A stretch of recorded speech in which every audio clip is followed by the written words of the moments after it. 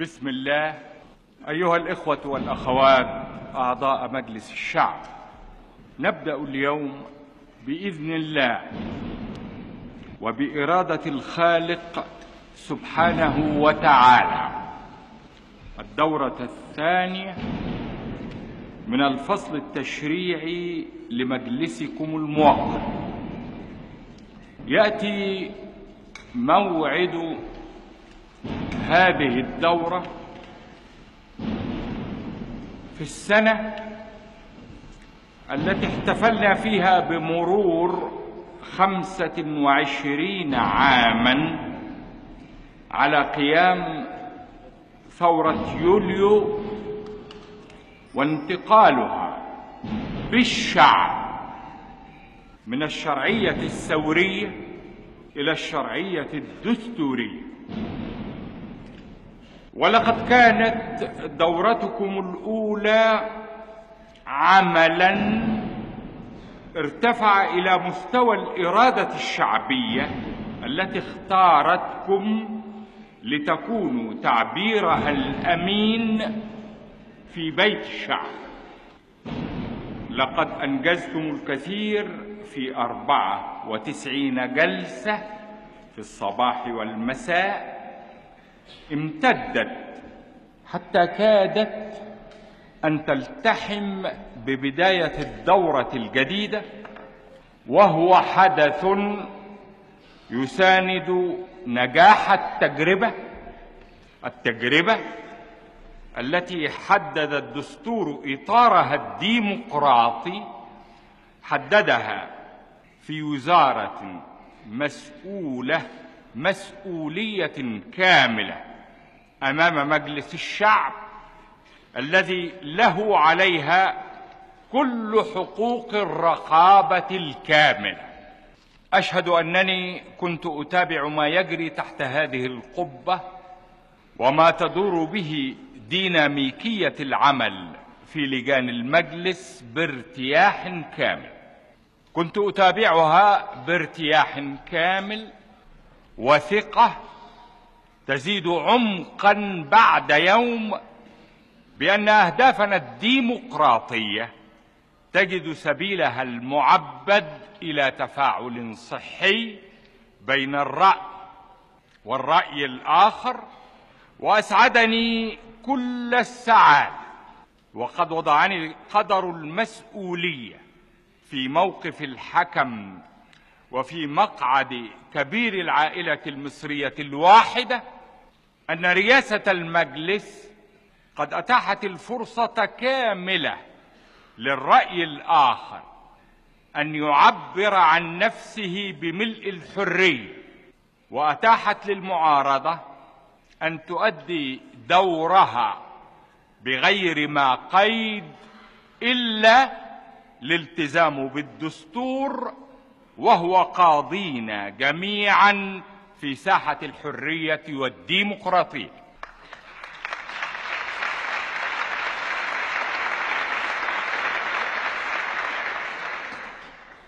لقد أقر مجلسكم أكبر موازنة في تاريخ مصر. بلغ حجم استخداماتها ومواردها سبعة آلاف وخمسين مليونا من الجنيهات. أي بزيادة قدرها ألف ستة وسبعين مليونا عن سابقتها. ويشجعنا جميعا أن نعرف أن معدل الإنتاج قد ارتفع إلى نسبة مرضية مما يبشر بأن تصحيح المسار الاقتصادي يتجه في طريقه المخطط المرسوم في مواجهة أسوأ موجة تضخمية نعاني منها كما يعاني منها عالم اليوم كله. ولسوف تسعى إليكم الموازنة الجديدة في هذه الدورة بإذن الله وهي تحمل آفاقا جديدة في زيادة اعتمادات الخدمات وتوفير فرص العمالة والتطور في معدلات الإنتاج وأيضا في المواكبة السليمة للجهود الجبارة المستمرة التي بذلت وتبذل للإفلات من عنق الزجاجة وللعبور الناجح من مرحلة الاختناق إلى بدايات مرحلة التوازن الاقتصادي وصولا إلى آمالنا في التطور والرخاء. كل ذلك يجري مع التزام وطني وقومي بأن نوفر لأبطالنا رجال القوات المسلحة.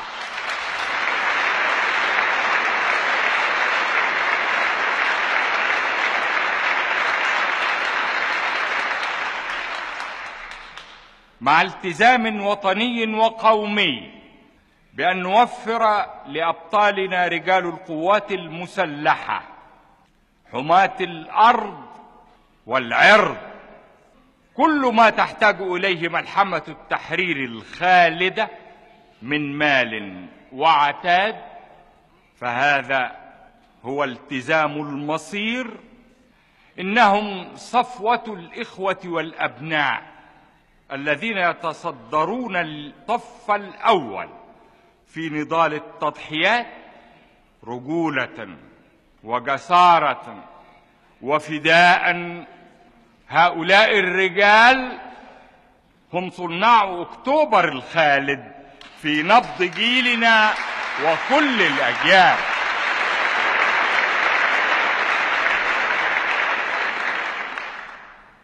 أيها الإخوة والأخوات أعضاء مجلس الشعب دعونا نتوقف برهة نعود فيها إلى النفس ونتأمل. أين نحن اليوم من تجربتنا؟ هنا من هذه القاع أصدرتم قانون تنظيم الأحزاب إعلانا تشريعيا لخطوة جديدة على درب الحياة الديمقراطية السليمة وتطلعا حرا إلى تفاعل حر بين الرأي والرأي الآخر وإيمانا صادقا بحاجة العائلة الواحدة إلى أن تحتضن كل أفكار أبنائها وأن تختار في غير ما تعصب أو تحزب أو انحياز ما تراه خيرا للمجموع وما تقتنع به محققا لصالح الملايين.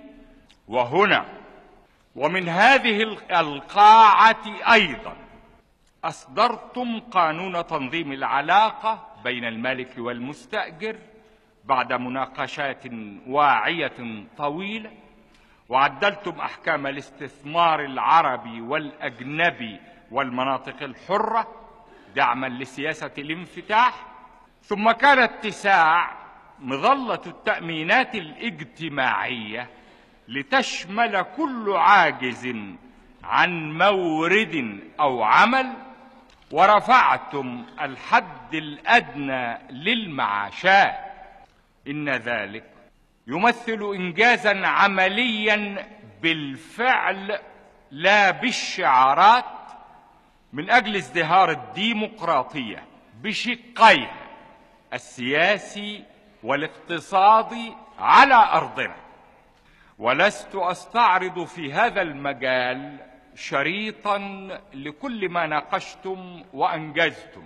فإن تقريركم عن دورتكم الماضية حافل فعلا وحقا بما يؤكد لنا جميعا أن العمل الوطني يشق طريقه الدستوري بانتماء حقيقي إلى كل مكونات رسالة التمثيل الشعبي تشريعا ورقابة ومصارحة بالرأي الحر في كل ما يواجهنا من أحداث وتحديات.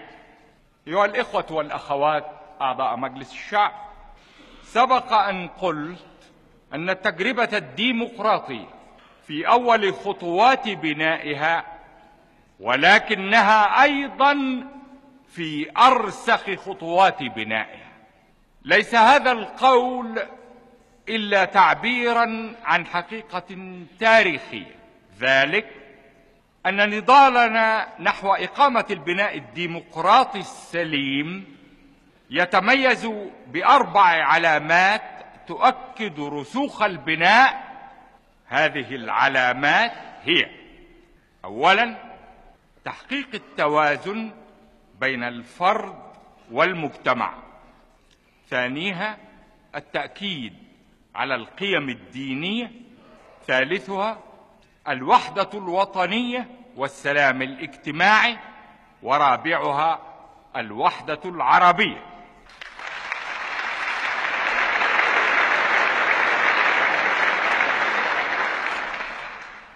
كل ذلك يجري من خلال سلوك يتميز بالجدية وبالوضوح وباليقظة وبالطموح.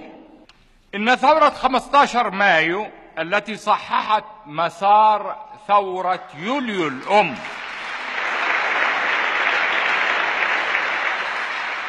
ثورة 15 مايو لم تكن مجرد إزالة أشخاص بعينهم من مواقع الحكم فما كان أيسر أن يتم ذلك بقرار.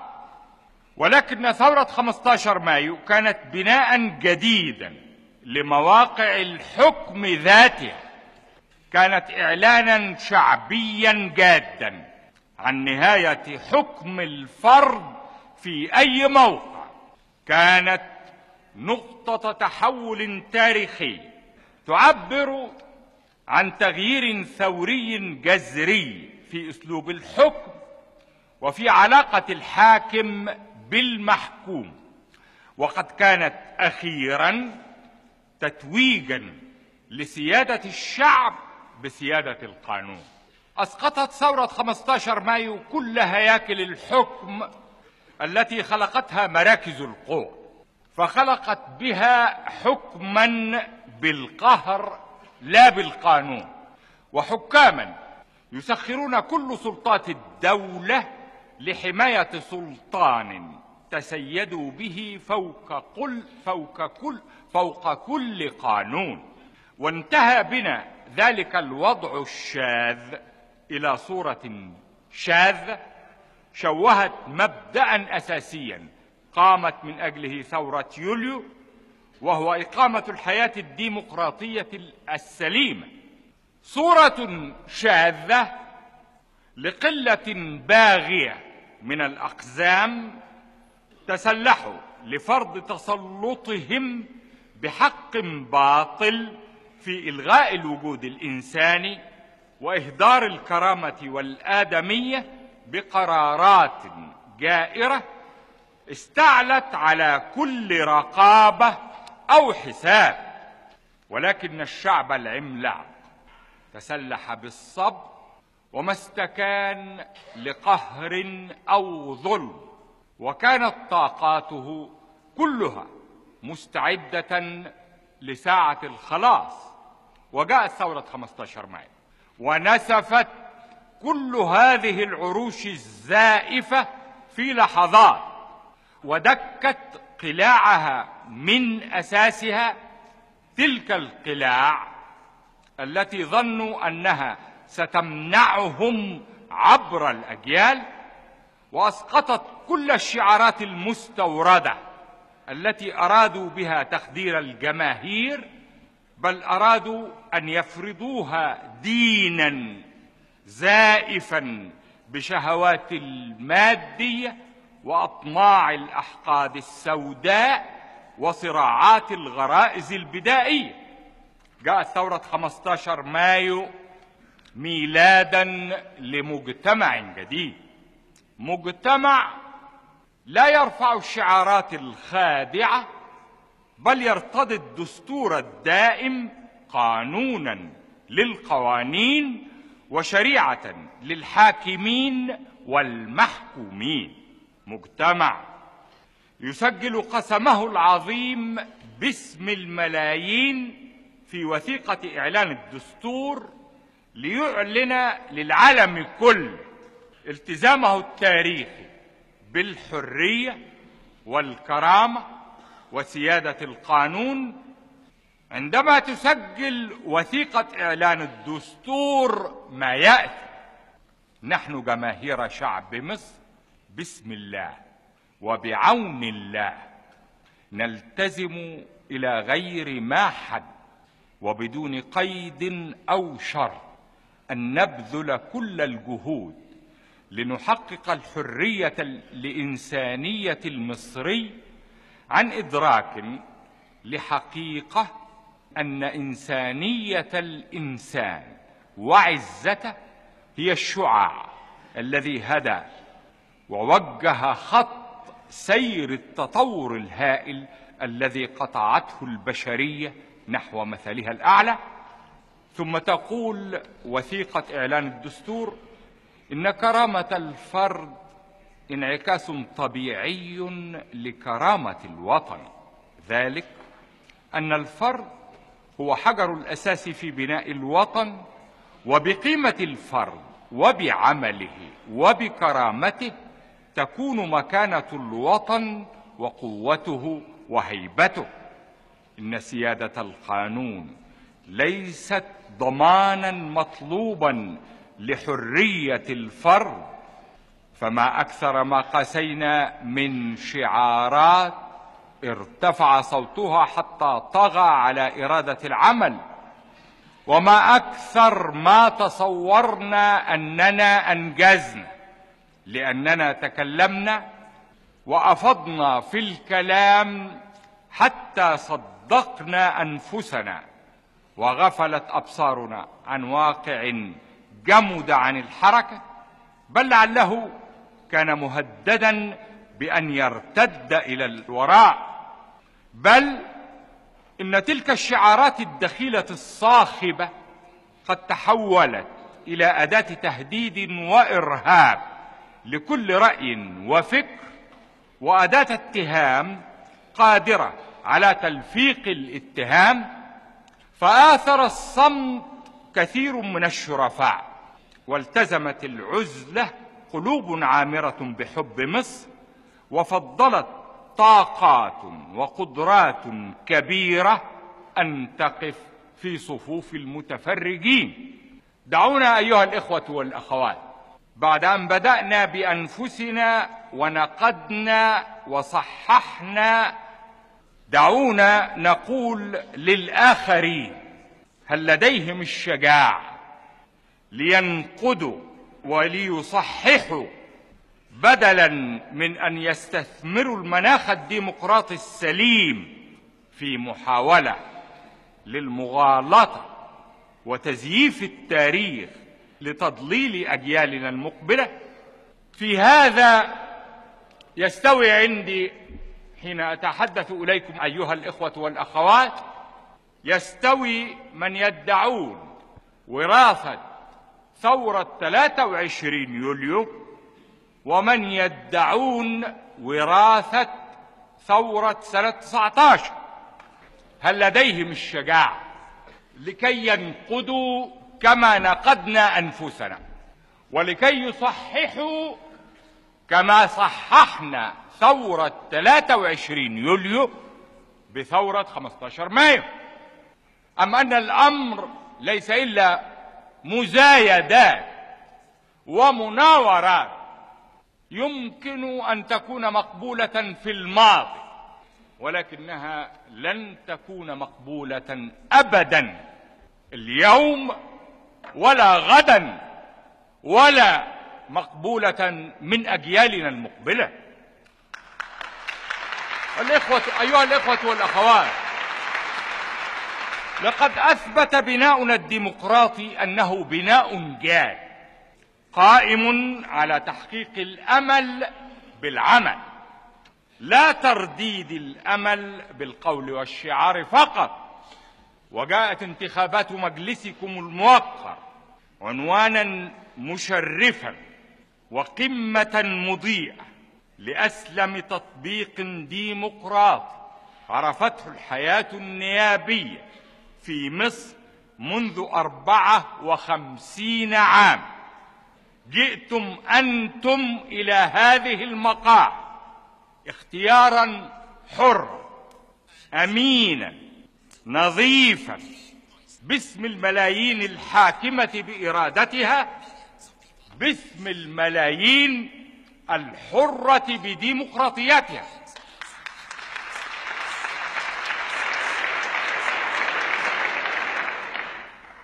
باسم الملايين صناع الديمقراطية وحماتها بكل مبادئ.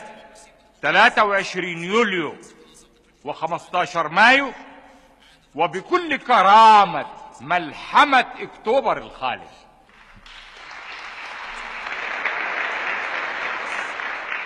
ودساتير العالم أيها الإخوة والأخوات في شرقه وفي غربه.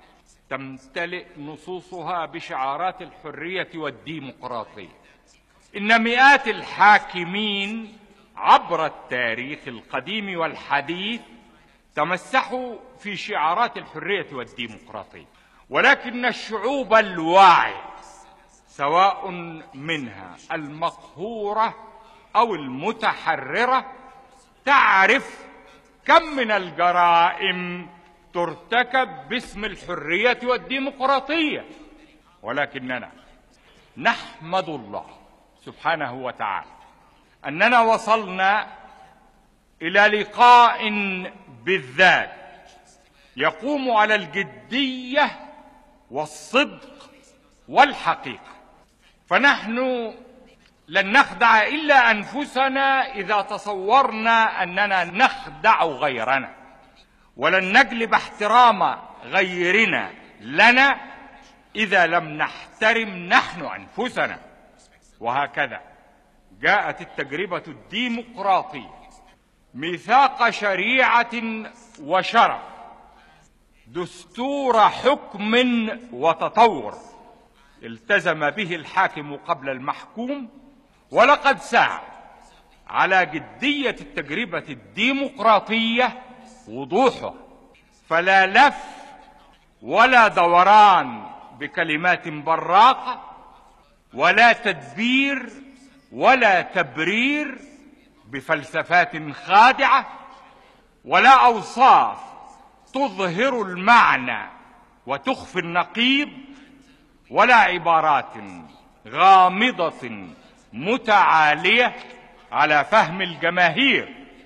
فنحن لا نتحدث بلغتين ولا نتعامل مع مصير الشعب بوجهين.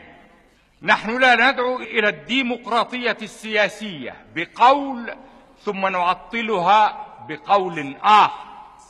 ونحن لا نبشر بالديمقراطية الاقتصادية بقول ثم نمزقها بقول آخر. ونحن لا نقيم الاشتراكية الديمقراطية على متاهات من شعارات لا تميزها ولا تحدد أوصافها بل تذهب بها هذه المتاهات إلى ازدواج مقصود في المبنى والمعنى.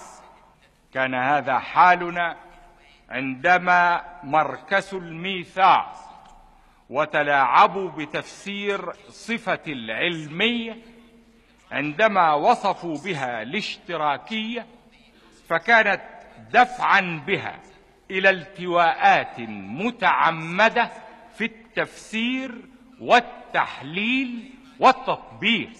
إن الاشتراكية الديمقراطية في دستورنا الدائم تنطلق من القواعد الأربعة الأساسية التي أخذنا أنفسنا بها ونحن نناضل من أجل إقامة البناء الديمقراطي السليم كما أسلفت وهي أولها تحقيق التوازن بين الفرد والمجتمع. ثانيها التأكيد على القيم الدينية. ثالثها الوحدة الوطنية والسلام الاجتماعي. رابعها الوحدة العربية.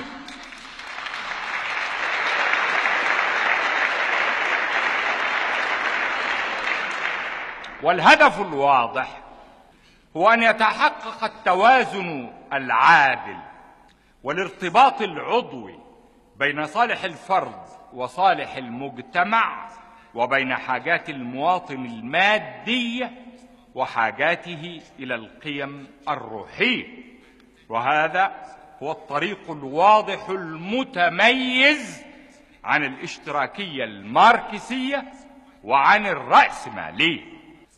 إننا لا نتجاهل ابدا الحرية الشخصية والحافز الفردي كما تفعل الاشتراكية الماركسية لأن تحرير إنسان اجتماعيا واقتصاديا لن يكتمل إلا بالديمقراطية السياسية التي تؤمن الحرية الفردية وتشجع على الحوافز والمبادرات الخلاقة. وغيبة حرية الرأي وسيادة القانون تتيح للبيروقراطية المسيطرة على وسائل الإنتاج أن تشكل طبقة ديكتاتوريه تتحكم بلا حدود كما أننا لا نتجاهل صور الاستغلال القاسية والتفاوت الشاسع في دخول الأفراد الذي تنتجه الراسماليه وهنا لي وقفة معكم أيها الإخوة والأخوات بشأن قانون الضرائب هذا القانون الذي سيعرض على مجلسكم الموقر في هذه الدورة بل لعلي طلبت أن يكون أول ما يعرض في هذه الدورة هو قانون الضرائب لما له من مغزى أساسي في نظامنا الاشتراكي الديمقراطي. أود أن أكون واضحا أمامكم أيها الإخوة والأخوات. في قانون الضرائب الجديد لابد من أن نحقق العدالة الاجتماعية كما ارادها الله سبحانه وتعالى.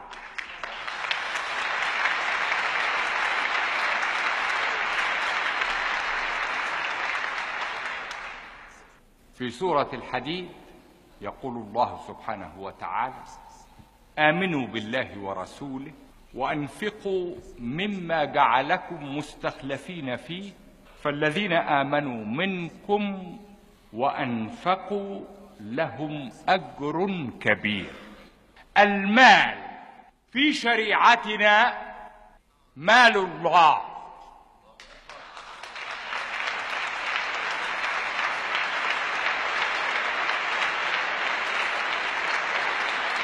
أجل ذلك أنا أدعوكم كما أراد الله سبحانه وتعالى لنا لعمران هذه الأرض. أراد لنا أن نكون مستخلفين على هذا المال. أريدكم أن تضعوا الحدود التي تسوي وتوزع ما بين الناس بحق الله سبحانه وتعالى. وليكن هذا وليكن هذا هو أساس فلسفة قانون الضرائب على الغني أن يتحمل يتحمل أعباء لا يستطيع أن يتحملها الفقير. وأقول لكم بصراحة إنني أعي مسؤوليتي وأخاف الله سبحانه وتعالى. الله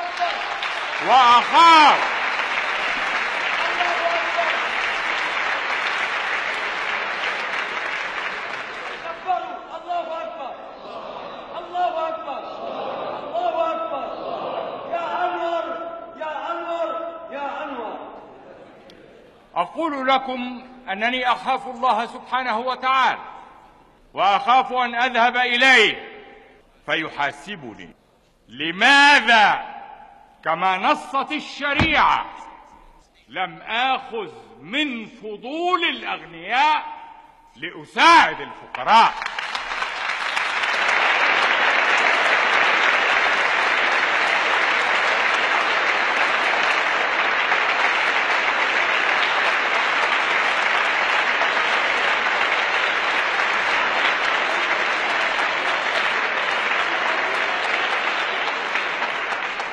أريدكم.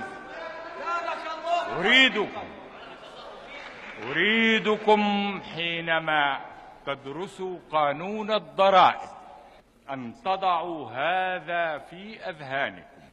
نحن نريد أن نقيم العدالة بين أبناء شعبنا بين أبناء وطننا بحيث يتحمل القادر وبحيث ينعم غير القادر بحياة كريمة ليست إحسانا من القادر أبدا وإنما هي فرض عين وحق وواجب.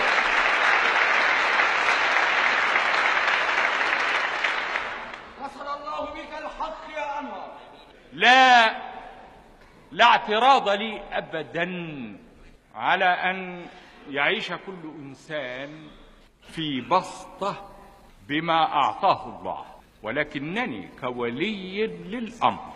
وأقولها لكم لكي تضعوها في تشريع كولي للأمر.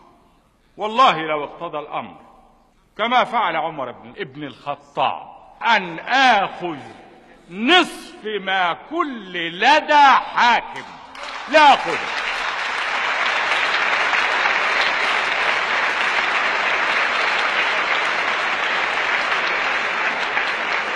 ف من أجل هذا أريدكم أن تضعوا قانون الضرائب لكي تعيدوا صياغة الحياة على أرضنا بالحق وبالعدل وبشريعة الله سبحانه وتعالى ونحن لا نحقد على أحد ولا نحسد أحد. ولا نعتدي على أحد. وحين أقول هذا أرجوكم أن تعلموا أنني لن ألجأ إلى المصادرة أو الاعتقال أو الحراسة أو كل ما كان في الماضي ابدا.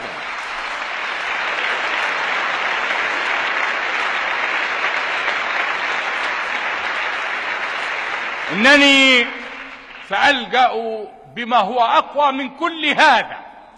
أنني ولي الأمر وأراد الله لي سبحانه وتعالى أن أتولى هذا الأمر.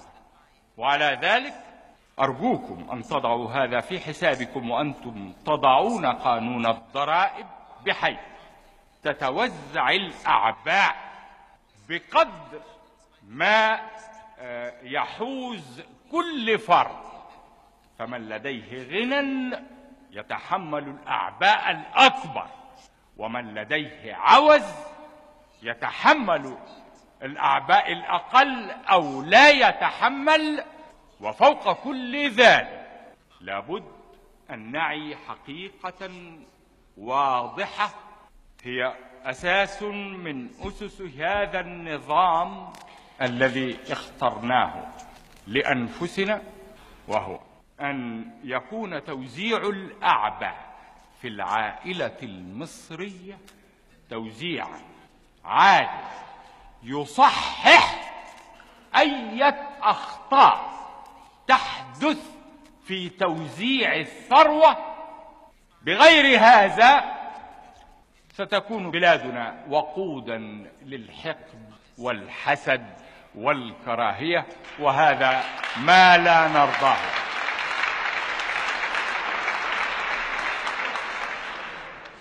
أيها الإخوة والأخوات أعضاء مجلس الشعب لقد خصص دستورنا الدائم الباب الثاني لتحديد المقومات الأساسية للمجتمع المصري اجتماعيا واقتصاديا في وضوح وتوصيف. هذا الوضوح والتوصيف لا يحتمل أبدا اختلاط المبادئ أو تمييع الأهداف. كما أن دستورنا الدائم وضع كل الضمانات التي تحمي حق المواطن وحرية في التمتع بالحياة الديمقراطية السليمة وقد وضعت هذه الضمانات في وضوح وتحديد لا يحتمل اختلاط المبادئ ولا تمييع الأهداف كما قلت. وإذا كانت المبادئ التي ذكرتها وهي نتيجة للممارسة والمعاناة وليست من الكتب أو النظريات هذه المبادئ الأربعة هي التي تشكل معالم لاشتراكيتنا الديمقراطية. فإننا في تجربة الممارسة الديمقراطية والتطبيق لن نخل بهذا الوضوح ولن نجعل من إجراءات الممارسة وقواعد التطبيق مدعاة إلى أي اهتزاز فكري في تجسيد اهداف ان الدراسات العلمية التي بدأتها جامعاتنا لتأصيل الاشتراكية الديمقراطية وتطبيقها في أرضنا سوف تتعرض إلى التفاصيل والجزئيات بالتحديد الدقيق الواضح على هد المبادئ العامة والأساسية التي نص عليها الدستور. وأرجو أيها الإخوة والأخوات أعضاء مجلس الشعب الا يبخل المتخصصون منكم بالفكر والرأي والخبرة في الإسهام في هذه الدراسات العلمية التي تضيء المعالم أمام السلطات الدستورية في بلادنا لكي يكون التشريع والتنفيذ في ظل سيادة القانون مدعما لوضوح التجربة وتميزه الإخوة والأخوات إننا نستنكر الإرهاب في شتى صوره في الداخل والخارج على السواء. وإذا كان استنكارنا للإرهاب على المسرح الدولي نابعا من عقيدة راسخة بأن حقوق الشعوب لن تحققها أعمال فردية جبانة تعتدي على أرواح العزل والأبرياء وتهدد الآمنين في إنسانيتهم وآدميتهم. إذا كان هذا هو موقفنا من الإرهاب الخارجي الذي تصاعد في السنوات الأخيرة وأصبح سبة في جبين إنسان العصر الحديث وعاد بالفرد المتحضر إلى عصور القرصنه فإن موقفنا من الإرهاب الداخلي يتجاوز الاستنكار إلى الإجراء الحاسم المضاد وقاية ومطاردة وحسابا عسيرا لن يفلت منه جبان أو مدع أو مأجور يتطاول على حرية الشعب أو يهددها أو يحاول أن يعود بها إلى الوراء. وإنني أعلن لمجلسكم الموقر أن أي تطاول على الديمقراطية لن ينال من الديمقراطية لأن الديمقراطية ليست عاجزة ولن تكون عن بتر أي يد شريرة ملوثة يصور لها غرورها أنها قادرة على قهر أو بطش ان أي تهديد تتعرض له حرية هذا الشعب وأمنه جريمة لن تغتفر بل هي أبشع الجرائم لأن ضحيتها ليس فردا أو مجموعة أفراد ولكن الضحية هي كل الشعب لأن تهديد الديمقراطية بالدم والإرهاب لا يهدف إلا إلى تحطيم الصرح الشامخ الذي شيدته إرادة الملايين من أجل أمنها وسلامها وكرامة وجودها وديمقراطية الملايين قادرة بكل ما يسلحها به الشرع والقانون قادرة على سحق أي تهديد لها بلا رحمة أو شفقة أو هوان. في أوائل هذا العام لابد أنكم جميعا تذكرون أحداث 18 و 19 يناير 77 ولا بد أيضا أنكم تذكرون أحداث ما وقع من جماعة دينية اتخذت الدين سبيلا إلى محاولة فرض نظام معين أو فرض آراء أو أفكار معينة على هذا الشعب واعتدت في هذا السبيل على عالم جليل من علماء. أريد هنا أن أكون واضحا تمام الوضوح. إن اية محاولة من جانب اية جماعة ايا كان هذا الذي تؤمن به أو تنادي له. أية أعمال إرهابية أو محاولات فرض على هذا البلد ستقابل كما قلت لكم من قبل بمنتهى القمع والشدة.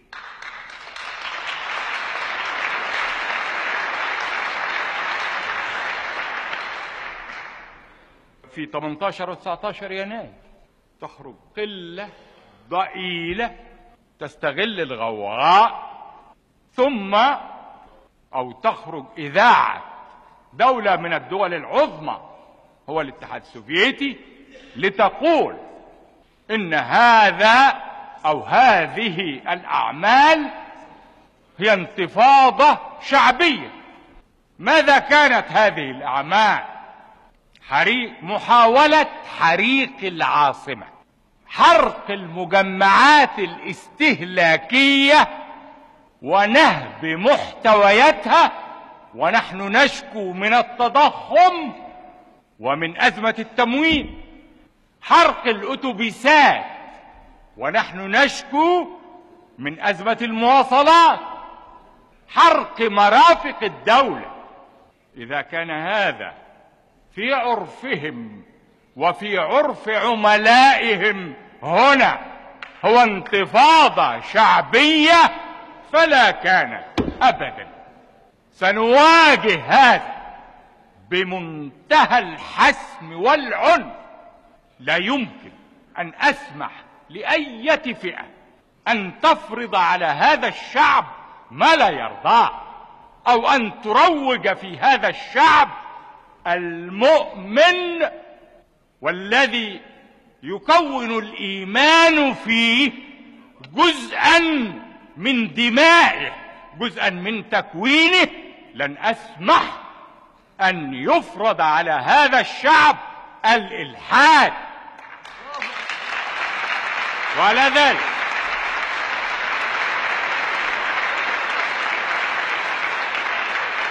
لقد سمعتموني في الماضي أتحدث إليكم. وشجبت هذه الأعمال وقلت أن من لا إيمان له لا أمان له. أقولها الآن. أضعها أمامكم لكي تسجل في مضابط مجلسكم.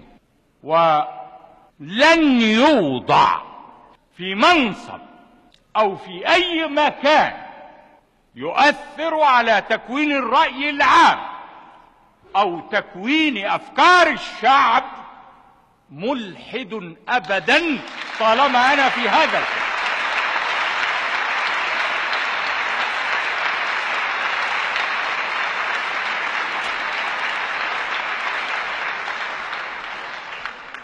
ليس معنى هذا أنني أعادي أحد أبدا.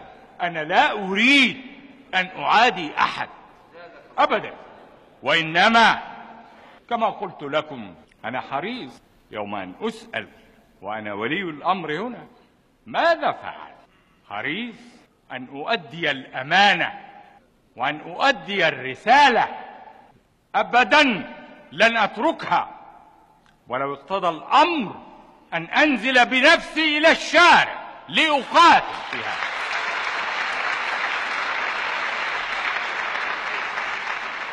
إننا شعب الإيمان جزء من كياننا وتكويننا ولا يمكن أن نسمح ابدا لاية قوى مهما كانت هذه القوى أن تزلزل هذا الإيمان أو أن تتطرق بطرق ملتوية لمحاولة تضليل أجيالنا المقبلة عن هذا الإيمان كما حدث في بلاد أخرى.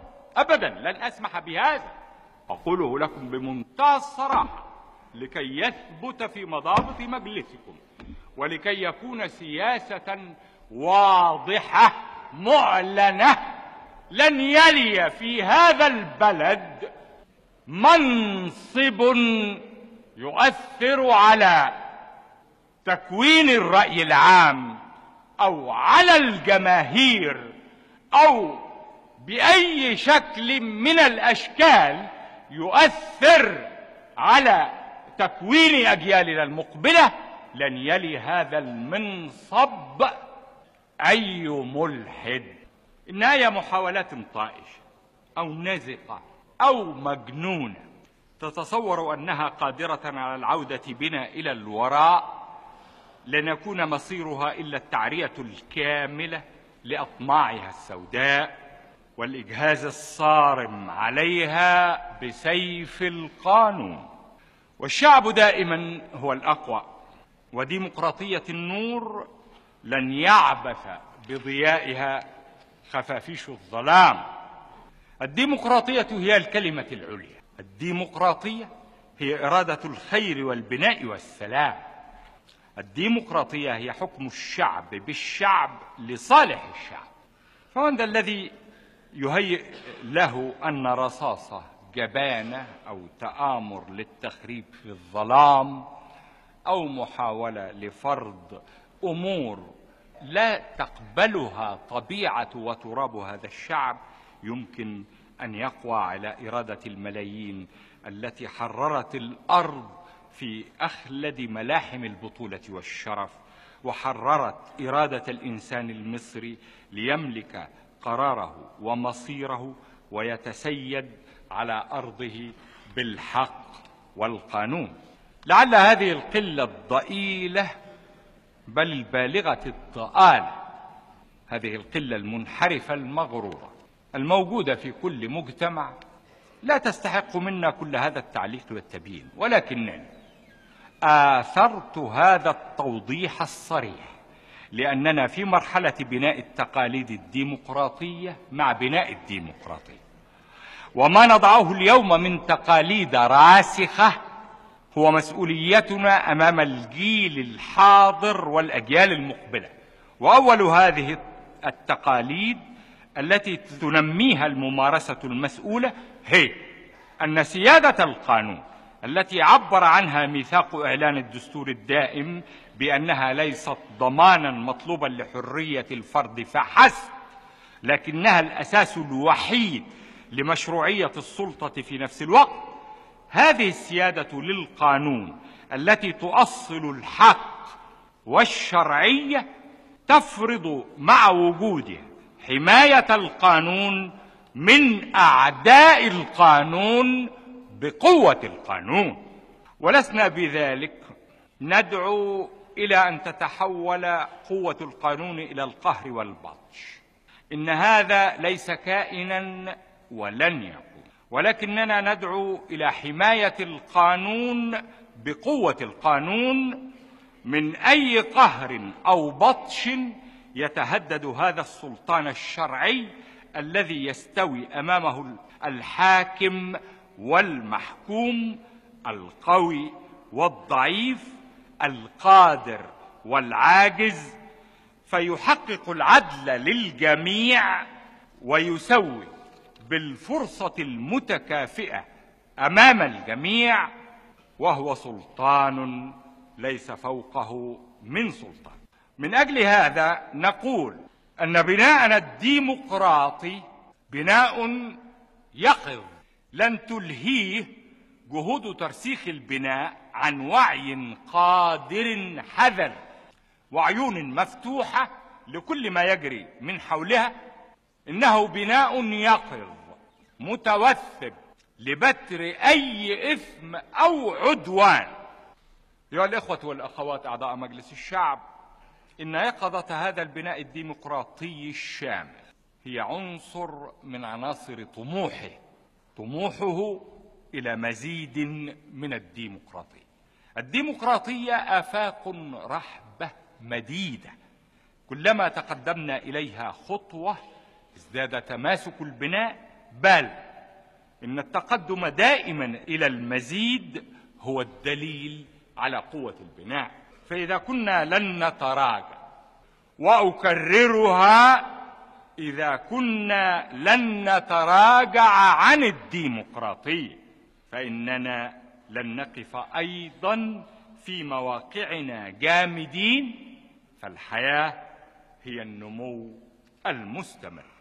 وعقل الإنسان وفكره ومواهبه وحوافزه ينعشها ويفجر طاقات خلقها وابتكارها نحو حياة أفضل الأجواء الصحية التي تعطيها الديمقراطية ومظلة الأمن والأمان التي تقيمها الشرعيه وكلما تطورت حياتنا إلى مزيد من التقدم الاجتماعي والاستقرار الاقتصادي كلما تطور البناء الديمقراطي نحو المزيد ال- الذي يتلائم مع حاجات التقدم ولوازم الاستقرار للتطور مشكلات متجدده مع تجدد إرادة التطور. ولا حل لهذه المشكلة ولا دليل إلى طريق الحلول الصحيحة إلا الفكر المتحرر من كل القيود وإلا قيد الالتزام بالدستور ومصالح الجماهير ولن يتحرر فكر إلا بمواجهة الرأي بالرأي الآخر. وعندما تضاء كل المشاعل نستبين كل أبعاد الطريق وهذا هو المزيد من الديمقراطية الذي يحققه طموح التجربة. لقد انتقلنا من تنظيم الرأي الواحد إلى ساحة الآراء المختلفة ثم تبلورت هذه الساحات إلى فكرة المنابر أو التنظيمات ثم تقدمنا إلى إنشاء الأحزاب التي تعبر عن الاتجاهات الأساسية الثلاث في كل مجتمع. ووضع مجلسكم قانون الأحزاب بضوابط تحمي التجربة الوليده من صراعات الفوضى وانشقاقات الانقسام وتصدع العائلة الواحدة. وبعض هذه الضوابط موقوت بهذه الفترة التشريعية ولكن فلسفة كل ذلك هي الخطوة المتأنية الواثقة. وإذا كنا لسنا من هواة الشعارات فلسنا أيضا من هواة استعراض القفزات الانفعاليه أو الطائشة. كذلك الحكم المحلي يتقدم بخطى ثابتة مما يوضح سلطان الديمقراطية لتشمل كل رقعة من بلاده. ولم تعد هناك من سلطة تنفيذ على أي مستوى من مستويات المسؤولية بغير رقابة شعبيه من أجل طموحنا المتيقظ إلى مزيد من الديمقراطية فإن الممارسة السليمة هي صمام الأمن الحقيقي لحماية هذا الطموح من وقفه اهتزاز أو نكسة ردة أو معاناة غموض أو مغالاة بلبلة وتشكيك. وعندما نحمي طموحنا من العثرات فإننا ندفع بهذا الطموح إلى خطوات مضاعفة. هذه أيها الإخوة والأخوات أعضاء مجلس الشعب هي مسؤوليتكم أمام التاريخ وقد اختاركم قدر الديمقراطية لكي تكونوا كتيبتها الأولى في نضال التطور والتقدم. أنتم يا من أعطتكم الجماهير ثقتها وأنابتكم في إقرار إرادتها أنتم تحملون العبء الأكبر في سنوات الميلاد العظيم. هذه الجماهير تطالبنا جميعا بالممارسة المسؤولة الكاملة. لقد كفل الدستور لهذه الممارسة كل الضمانات وقدم لها كل الفرص لأداء الواجب التشريعي والواجب الرقابي. بل إن الدستور قد خول ممثلي الشعب في اختيار أكبر مواقع المسؤولية عندما نص على أن مجلس الشعب هو الذي يرشح رئيس الجمهورية. لكم حق اقتراح القوانين. وأنتم الذين تقرون السياسة العامة للدولة. وأنتم الذين تقررون الخطة العامة للتنمية الاقتصادية والاجتماعية. وتقررون الموازنة العامة. وموافقة مجلس الشعب فرض واجب عند نقل أي مبلغ من باب إلى آخر من أبواب الموازنة العامة الوزارة مسؤولة أمامكم ومن حق المجلس أن يقرر مسؤولية رئيس مجلس الوزراء ومن حقه أيضا أن يسحب الثقة من نواب رئيس الوزراء أو الوزراء أو نوابه وأساليب الرقاب التي نص عليها الدستور متشعبة متسعة بحيث تحيط بكل صغيرة وكبيرة يريد الشعب أن يمارس سلطانه عليه. حق السؤال طلبات الإحاط الاستجواب طرح موضوع عام للمناقشة إبداء الرغبات لجان تقصي الحقائق التي خول لها الدستور فحص أي نشاط في مؤسسة عامة أو جهاز تنفيذي أو إداري. وأن تجمع ما تراه من أدلة وأن تطلب سماع من ترى سماع أقواله وأن تحصل على ما تطلبه من وثائق أو مستندات.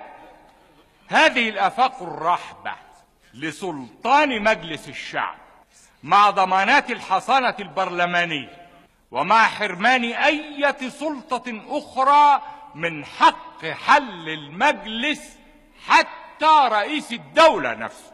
إلا إلا إذا قرر الحل استفتاء شعبي هذه الآفاق الرحبة تفتح كل الأبواب أمام الممارسة الدستورية التي تصل إلى كل مسؤول وإلى كل قرار.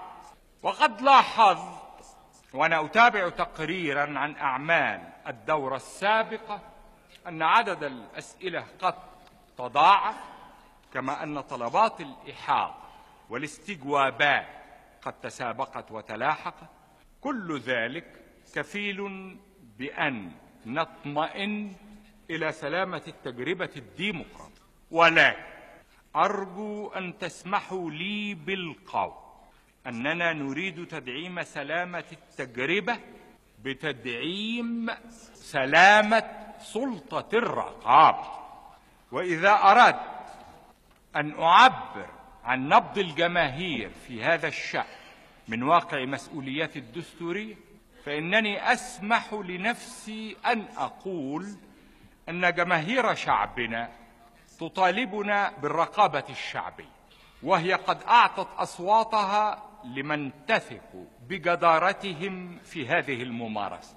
ولكن جماهير شعبنا أيضا حريصة في الوقت نفسه كل الحرص على أن تكون هذه الرقابة مجدية وفعالة ومحققة للأهداف التي شرعت من أجلها وهي حماية العمل العام والمال العام والمنصب العام من أن يتسلل إليه قصور أو افتيات على حق الجماهير أو عبث بمال الشعب أو فساد في مباشرة العمل التنفيذي.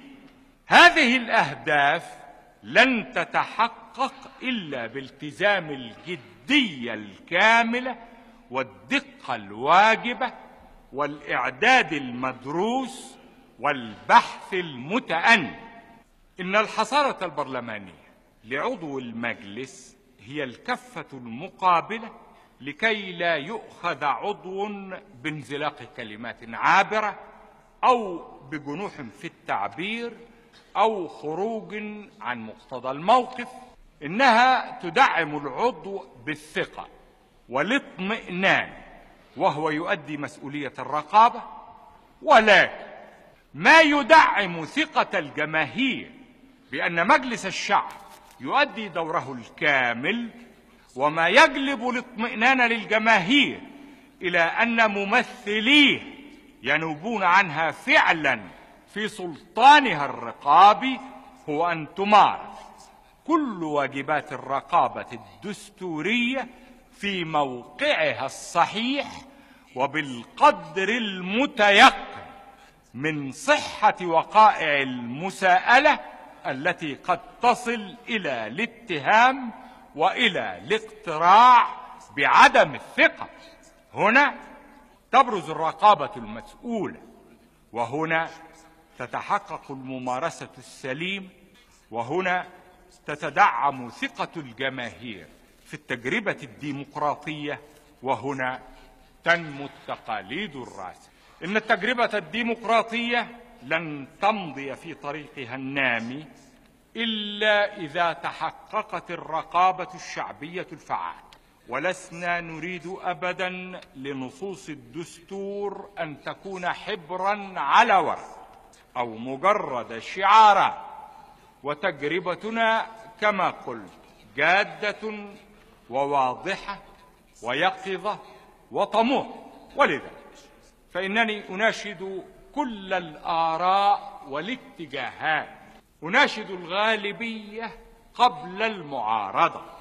أناشدكم جميعا أن نحرص حرصا كاملا على إبعاد التجربة الديمقراطية من كل ما يسقط جديتها أو يشوه وضوحها أو يعوق طموحها أو وكما قلت وأكرر ما أقول أنه لا يوجد مسؤول فوق المساءلة ولا يوجد مواطن فوق القانون ولكننا يجب أن نؤمن المسؤولية وسيادة القانون من الانفعال المتسرع أو المعارضة لمجرد المعارضة أو التأييد لمجرد التأييد أو التشهير المسخر للمناورات الحزبية. كان هذا أسلوب تليت به الديمقراطية الزائفة قبل ثورة 23 يوليو. انغمست حتى اذانها في مناورات الممارسة المتحزبة حتى تحول الحكم إلى لعبة التسابق على مقعد الحكم مهما كانت الوسيلة ومهما كان الثمن. ولقد دفع الشعب ثمن ذلك كله غاليا من مصالحه ومن تطوره. أيها الإخوة والأخوات إن ديمقراطية الشهوات الحرية منذ عام 24 حتى عام 52 سمحت بتأجيل انعقاد أول برلمان بعد خمسة أشهر من انتخاب. ثم صدر المرسوم بحل مجلس النواب. ديمقراطية الشهوات الحزبية سمحت بحل مجلس النواب في 23 مارس سنة 25 في يوم اجتماعه الأول.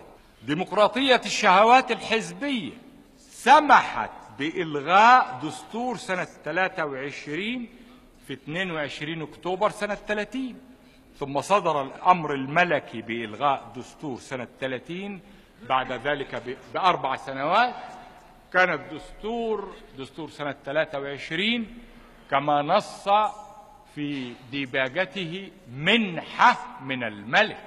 استردها الملك في سنة 30 وألغى الدستور 23 وقام دستور سنة 30 ثم عاد الملك وأعاد دستور سنة 23 ليس هذا هو أسلوب ممارستنا الديمقراطي لم يمنحنا ملك دستورنا الدائم وإنما أردناه بملء حريتنا ووضعنا فيه كل الضوابط والقواعد.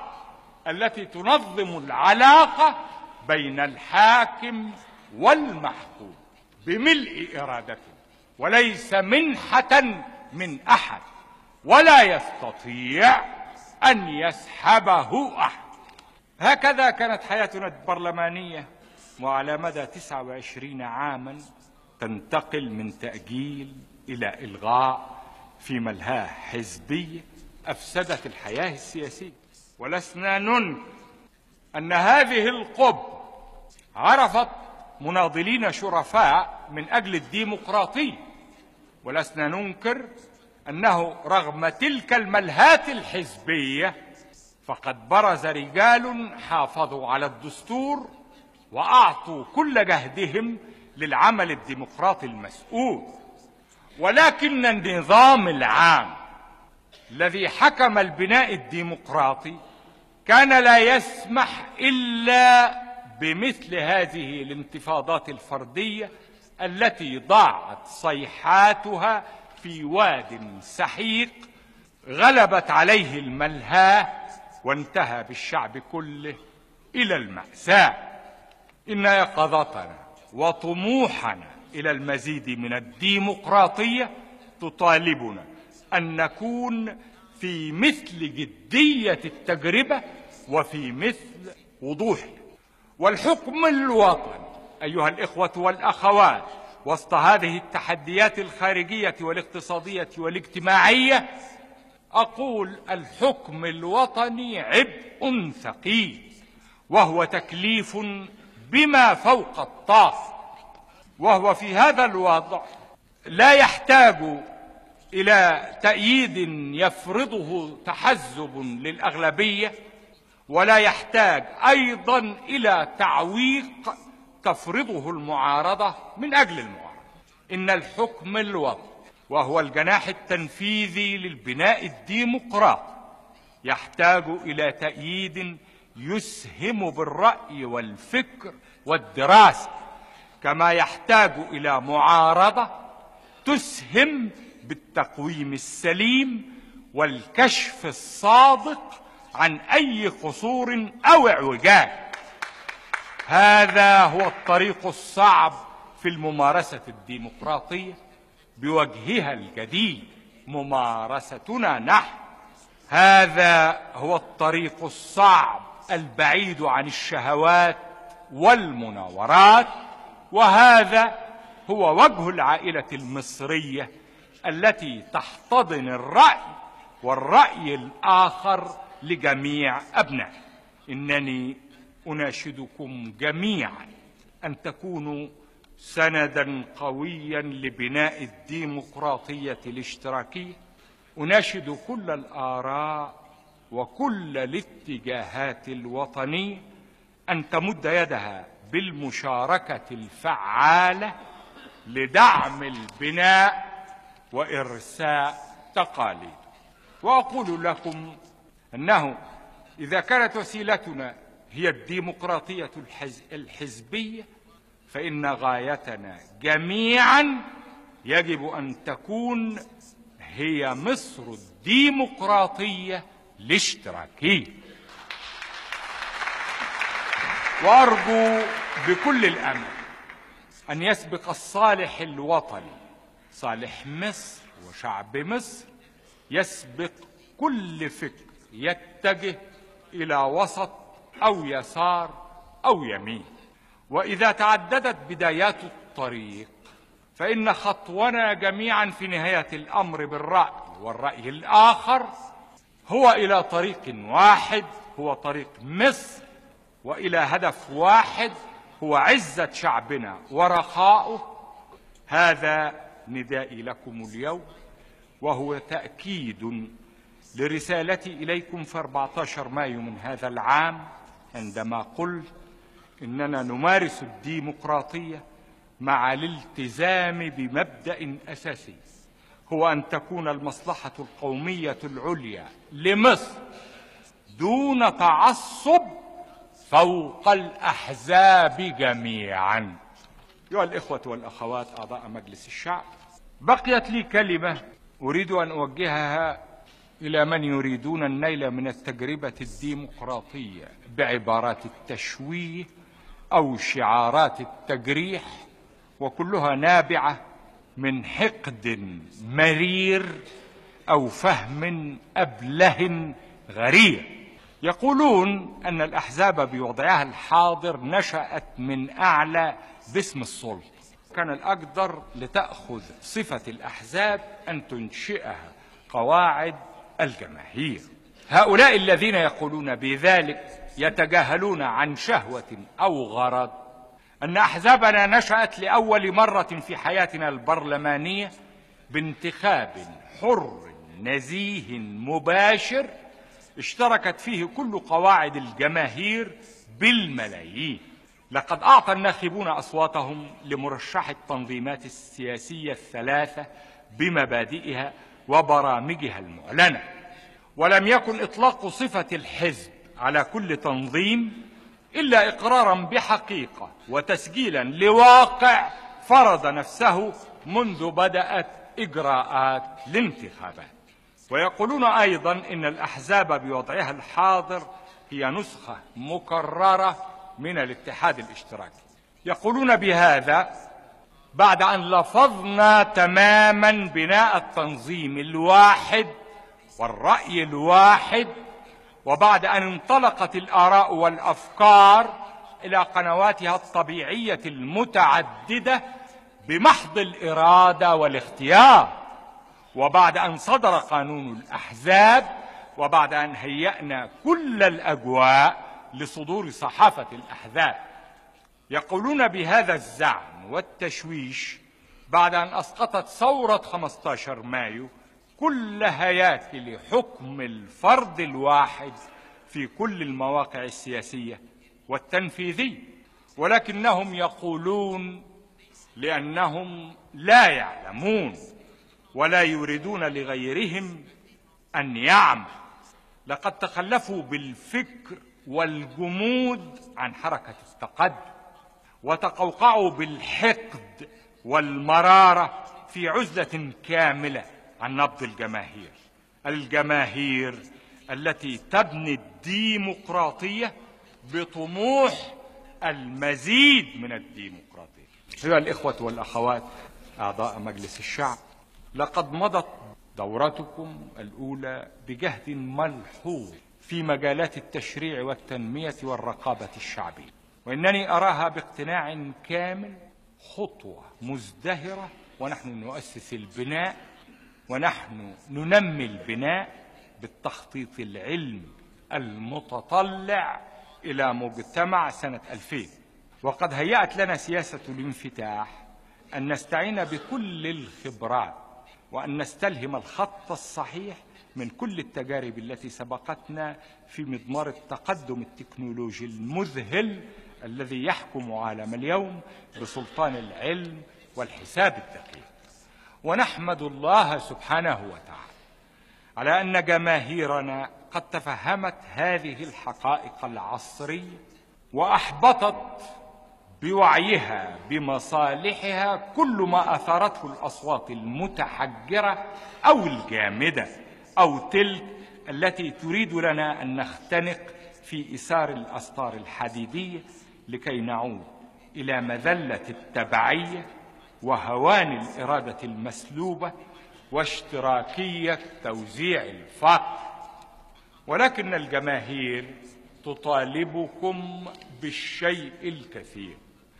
إن آلام الجماهير ألح عليها من آمال الانتظار الطويل. وتطلع الجماهير إلى الحلول السريعة لمتاعبها اليومية يشجب في يقينها أي تكاسل أو تهاون في مواجهة المشكلات التي تستوعبها الحلول الذاتية وإرادة العمل ويقظة الضمير. إن ثقة الجماهير في من يمثلها تحت هذه القبة تعطيها الحق كل الحق.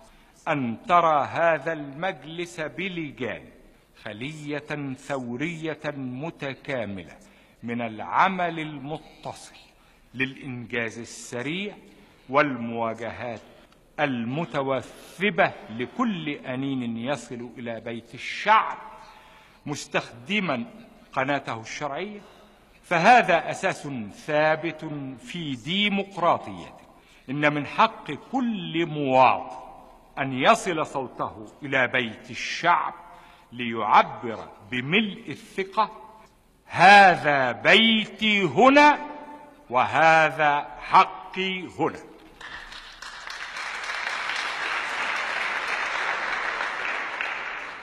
من أجل هذا فإنني أتطلع معا إلى دورة إنجاز كبير لكل التشريعات التي لم يسعف الوقت لإنجازها في الدورة السابقة وللتشريعات الجديدة التي يفرضها التخطيط المتكامل للتنمية الاقتصادية والاجتماعية والثقافية في ظل سياسة الانفتاح.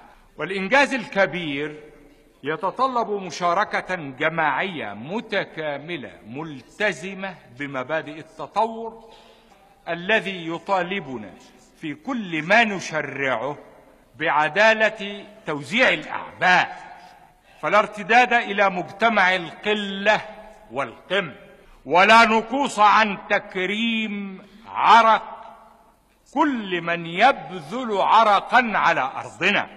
عرق الكادحين وعرق القادرين عرق العائلة المصرية بكل أبنائه وتكريم عرق الكادح هو التخفيف عن أعباء وتكريم عرق القادر هو بتحمله القدر الواجب من أعباء الوطن. ما دمنا قد حررنا الإنتاج الوطني من القيود المعوقة وما دمنا قد أمنا كل نشاط من أي انتفاض مباغت بمصادرة أو تأميم حتى يثمر مجتمع كل المنتجين أيها الإخوة والأخوات يبقى أن أضع أمامكم ومن خلالكم إلى الشعب الموقف الخارجي كما هو اليوم. تعلمون أنني منذ تحملت الأمانة التي عهد بها الشعب إلي بكل إيمان بالله سبحانه وتعالى وبكل ثقة بالنفس وأمل في المستقبل أقول آليت على نفسي أن أكرس كل فكري وعملي للقضية الوطنية والقومية فليس أعز على النفس من تحرير تراب الوطن واسترداد حقوق شعب شقيق وضعته الأقدار معنا ووضعتنا معه في وحدة مصيرية لا انفصام. له وقد كان ولا يزال قدر مصر دائما أن تتحمل العبء الأكبر في أي مواجهة بين الأمة العربية وأعداء والطامعين فيها وتلك ضريبة يتقبلها الشعب المصري بكل رضا وقناعة. لا استسلاما للمقادير وإنما اختيارا إراديا لطريق الكفاح عن إدراك تام لتبعاته الجسام ومخاطره التي لا حد لها والتضحيات التي يتطلبها بالروح والدم والقوت.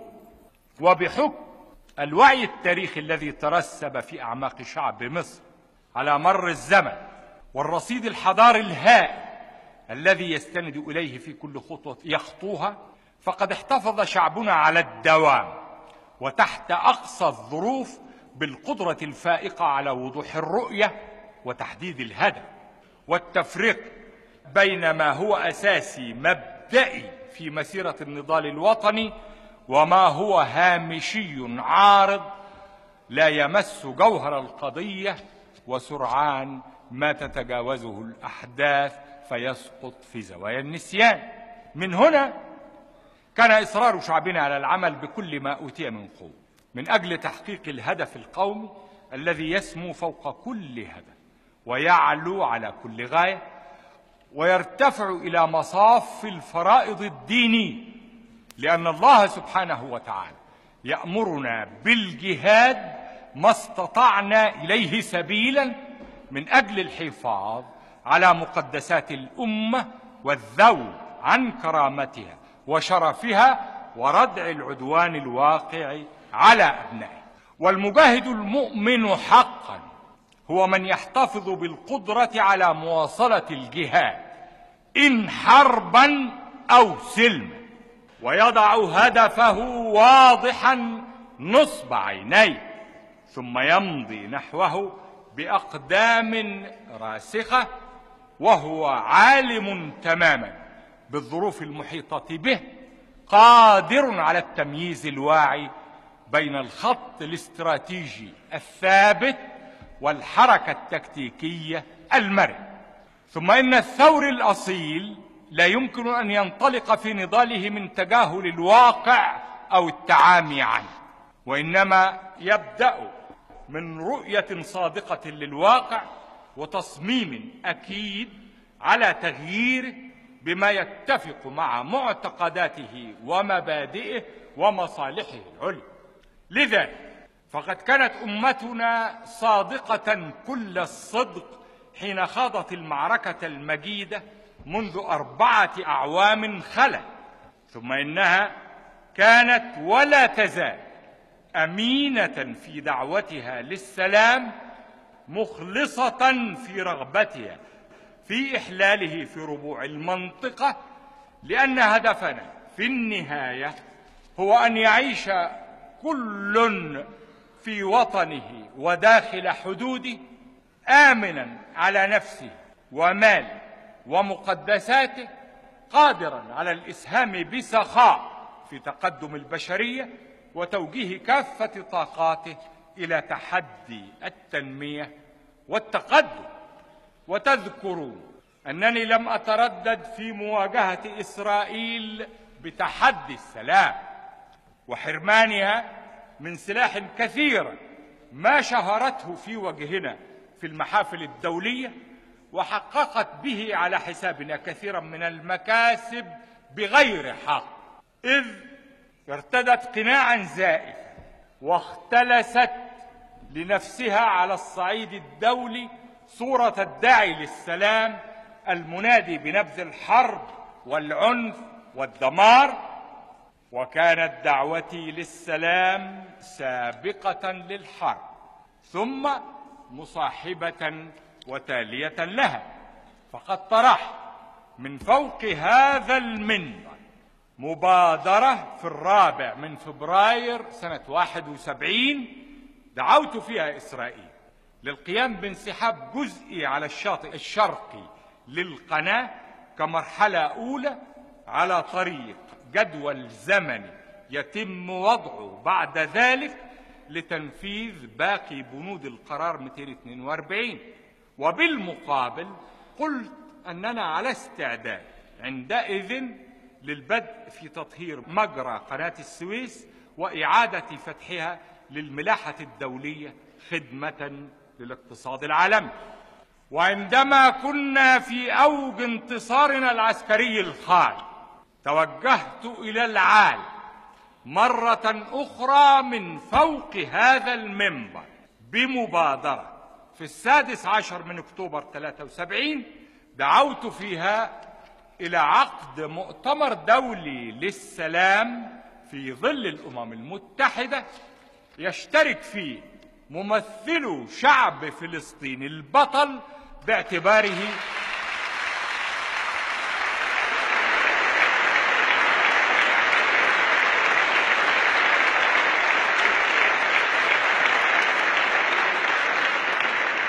يشترك فيه ممثلو شعب فلسطين البطل باعتباره طرفا اساسيا في القضية.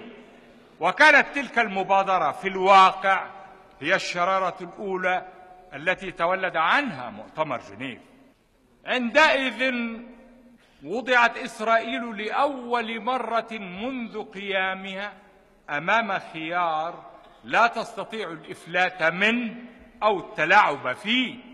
ولا تستطيع المضي في خداع الرأي العام بدعوى أنها راغبة في السلام ولكن العرب هم الرافضون. اسمحوا لي أن أتوقف هنا لحظة لكي أتحدث إليكم وإلى شعبنا وأمتنا عن آخر التطورات المتعلقة بالمؤتمر باعتبار أنه مطروح في الساحتين العربية والدولية ليس كهدف في حد ذاته وإنما كوسيلة يمكن أن تؤدي إلى تحقيق الهدف إذا نحن استطعنا أن نستثمر عناصر القوة لدينا حتى نضع إسرائيل أمام خيار قاطع بين سلام قائم على العدل والشرعية أو مواجهة لا يعلم أحد مداها أو الآثار التي يمكن أن تترتب عليها فهي مواجهة سوف تسخر لها الأمة العربية كل طاقاتها المادية والمعنوية. وتعرفون جيدا سجل الجهود التي بذلت في الأشهر الأخيرة بهدف عقد المؤتمر في أقرب وقت ممكن وبالتحديد قبل نهاية هذا العام بشرط أن يسبق انعقاده الإعداد له إعدادا جديا يبشر بتحقيق الهدف من انعقاد هذا الإعداد يوصلنا إلى التوصل إلى تسوية سلمية عادلة وشاملة خلال فترة زمنية معقولة ويحول دون تحول المؤتمر إلى منصة للخطابة أو ساحة للمبارزة الكلامية وتبادل الاتهامات وتسجيل المواقف بقصد الدعاية.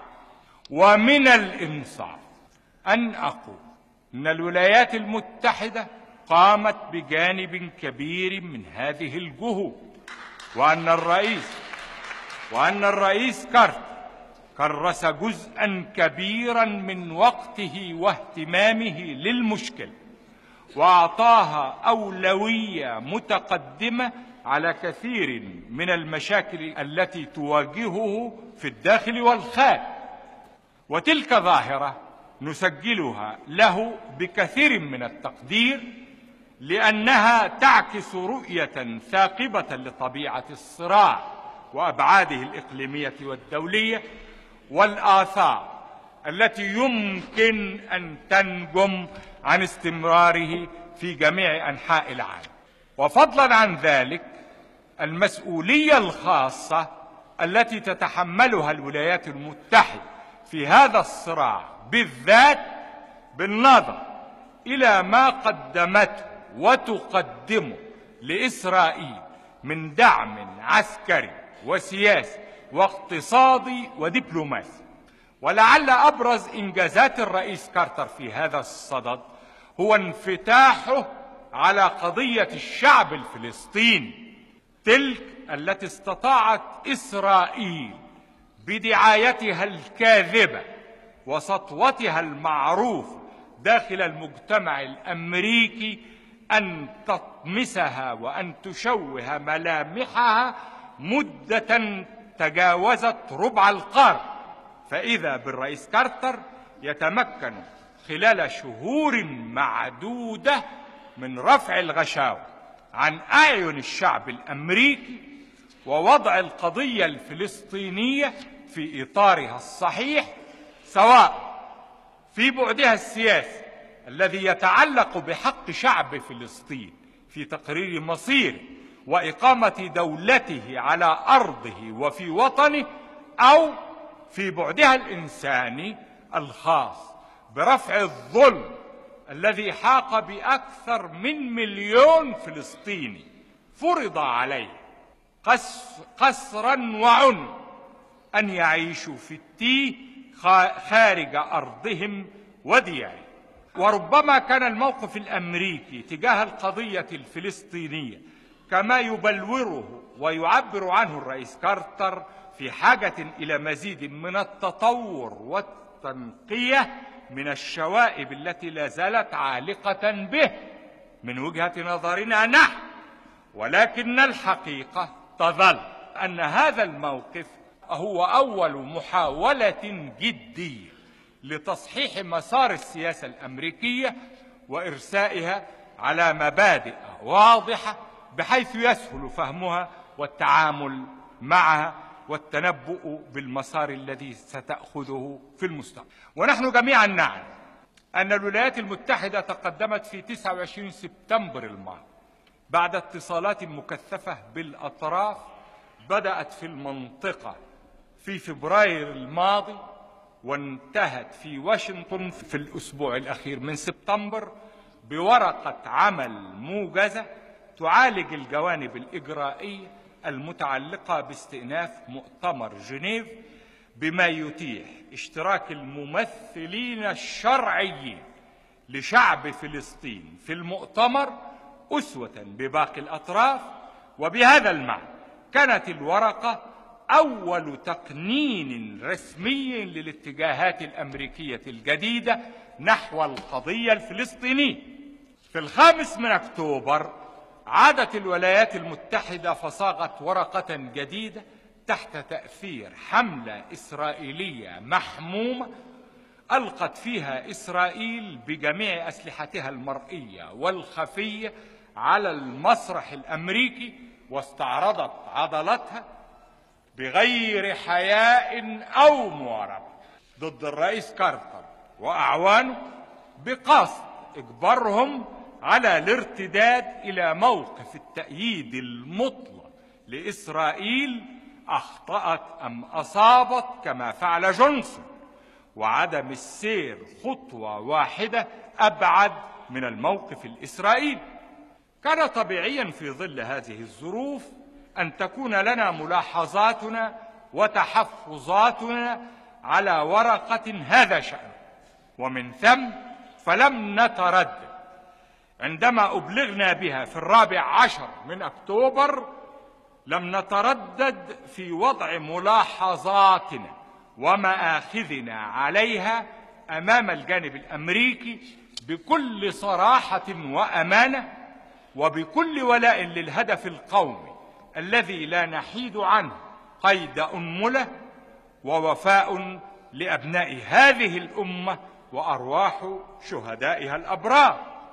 في هذه الأثناء صدر بيان سوفيتي أمريكي مشترك في مطلع شهر أكتوبر. تعرض للجوانب الموضوعية للتسوية السلمية. ونحن بطبيعة الحال لا ننظر إلى هذه البيانات كأنها تنزيل من العزيز الحكيم وإنما نضعها في إطارها الصحيح إعلانا عن النقطة التي التقت حولها آراء ومصالح الدولتين الأعظم اللتين تحتلان مكانة خاصة على الصعيد العالمي بحكم نفوذهما السياسي والاقتصادي والعسكري ولكنهما لا تستطيعان في الربع الأخير من القرن العشرين إملاء إرادتهما على أحد. ثم إننا على أي حال نعتبر من الظواهر الإيجابية أن توجه الدولتان الأعظم اهتمامهم إلى مشكلة الشرق الأوسط باعتبارها مشكلة ملحة وعاجلة يجب إعطاؤها أولوية قصوى على كل ما عدا. نتيجة لكل هذه الاتصالات والخطوات أصبح الطريق أمام مؤتمر جنيف مفتوحا على أسس جديدة تختلف بالضرورة عن التصورات الإسرائيلية.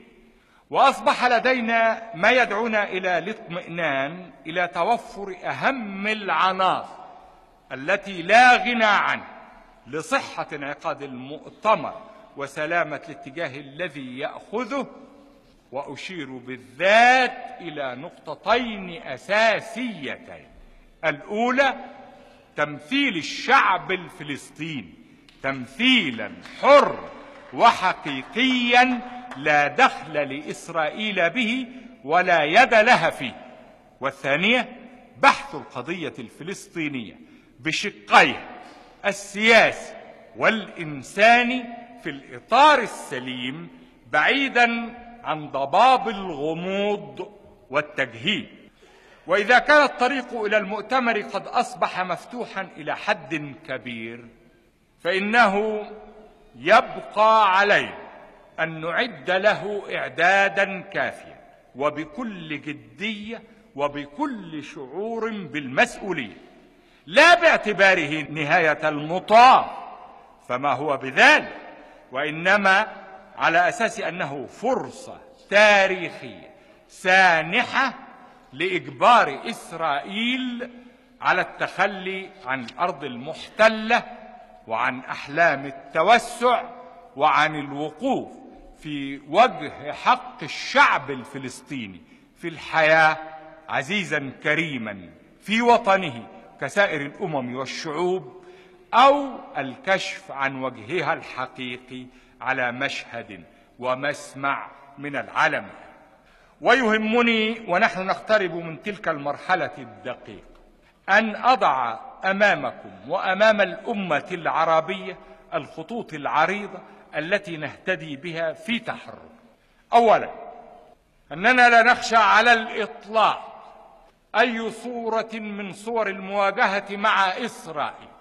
فقد وضعناها في حجمها الصحيح دون مبالغة ترفعها إلى مصاف القوة الجبارة القادرة على أن تقول للشيء كن فيكون أو استهانة ساذجة تجعلنا نظن أنها كيان هزيل لا حول له ولا قوة. وإنما انكمشت إسرائيل بعد حرب رمضان المجيد إلى حجمها الطبيعي. فأصبحنا نراها كيانا يمكن وقفه عند حده وردع عدوان. ومهما أوتيت إسرائيل من قوة وسطوة فيما وراء حدودها ومهما كانت الشبكات التي تعمل لحسابه وتأتمر بأمرها على المسرح الدولي فلدينا نحن من عناصر القوة ما يفوق كل ما تستطيع إسرائيل أن تعبئه في أي مواجهة. كما أن لدينا من الرصيد الحضاري والنضالي ما يمكننا من الصمود عسكريا وسياسيا ونفسيا. ولدينا من الدراية بالخصم وأساليب ما يضمن لنا التغلب عليه في أي مجال. ثم إن لدينا قبل هذا وذاك إرادتنا الحرة القادره على حماية مصالحنا والتمييز بين ما يمكن أن نقبله وما يجب أن نرفضه. نحن نقبل ما نقبل ونرفض ما نرفض من واقع رؤيتنا للهدف وإصرارنا على بلوغه. لا تحت ضغط الخوف أو فقدان الثقة أو عدم اليقين. كل هذا ولا في معركة أكتوبر الخالد. ثم إننا في هذا الموقف. أو ذاك لا نستلهم سوى قيمنا الخالدة وتراثنا العريق وعزة وطننا الكبير. ثانيا أننا في كل تحركنا نحرص على أن نوفر للأمة العربية أقوى وأمضى أسلحتها وهو التضامن العربي الحقيقي. ذلك الذي هو تعبير عن الإيمان بوحدة الهدف والمصير وبوحدة المصلحة والخط الاستراتيجي وإن اختلفت الاجتهادات والدروب التي يراها كل منا مؤدية إلى الهدف. وليس سرا أنني حرصت على إقامة التضامن العربي والحفاظ عليه منذ اليوم الأول الذي كلفني فيه الشعب بتحمل المسؤولية وحين كان هناك من يشككون أو يتشككون في إمكان قيام التضامن في عالم الحقيقة والواقع وكان هناك من يصرون على تصنيف أمتنا ما شاء لهم الخيال أن يصنفوا ويتفننوا في إيجاد عوامل التفرقة وأسس الخلاف. هذا تقدمي وهذا رجعي وهذا ملكي وهذا جمهوري. كان هناك إصرار تام من جانبي على رفض كل هذه الدعاوي ولا زال وكان هناك إصرار تام أيضا ولا يزال من جانبي على إزالة الاستقطاب الذي كان قائما في العالم العربي. وعلى هذا فليس هناك من يحرص على التضامن العربي. أكثر من حرصنا عليه ولا من يؤمن بوجوب تنسيق الموقف العربي مثلما نؤمن به ونجاهد في سبيل. في هذا المجال يسعدني أيها الإخوة والأخوات أن أقول لكم أنني في جولتي التي زرت فيها رومانيا وإيران والمملكة العربية السعودية كان هدفي أيضا هو التنسيق ولقد استقبلت ونسعد جميعا. بمشاركة أخ عزيز وصديق نضال رائع. هو الأخ ياسر عرفات الذي يجلس معنا.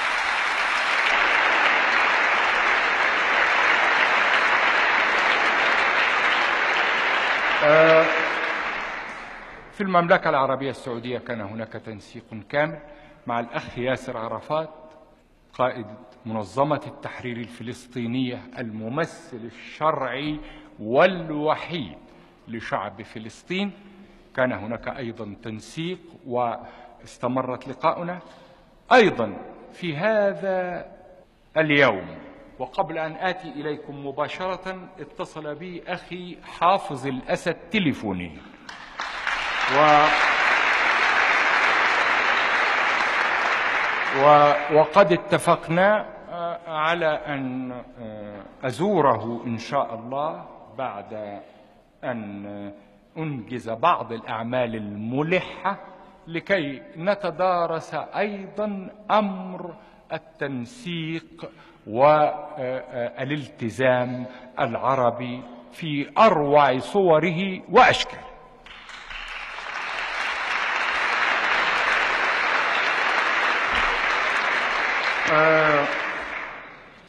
لا شك أننا قرأنا جميعا بكل الأسى والإشفاق ما يجري اليوم بين الجزائر والمغرب والجزائر والمغرب شعبين شقيقين.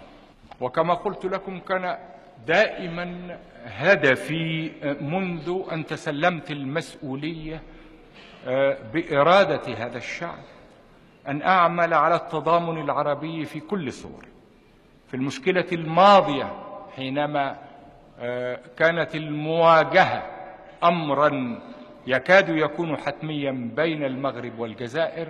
كما تعلمون أوفد نائب الرئيس حسني مبارك حيث قام بجهد مشكور ورائع أمكننا بفضله أن نوقف أو أن نتجنب هذه المواجهة بين شعبين شقيقين لنا حاربا معركتنا معا. آه اليوم لا شك كما قلت أننا جميعا قرأنا بأسف ما استجد بين الشعبين ولذلك فإنني أخطركم جريا أيضا. على السياسة التي أخذت نفسي بها وهو إقامة أصلب وأروع تضامن عربي مهما كانت الخلافات. أقول لكم أنني سأوفد إن شاء الله باكر نائب رئيس الجمهورية لكي يقوم عنكم وعن مصر بالعمل بين المغرب والجزائر لكي نتفادى أية مضاعفات للتضامن.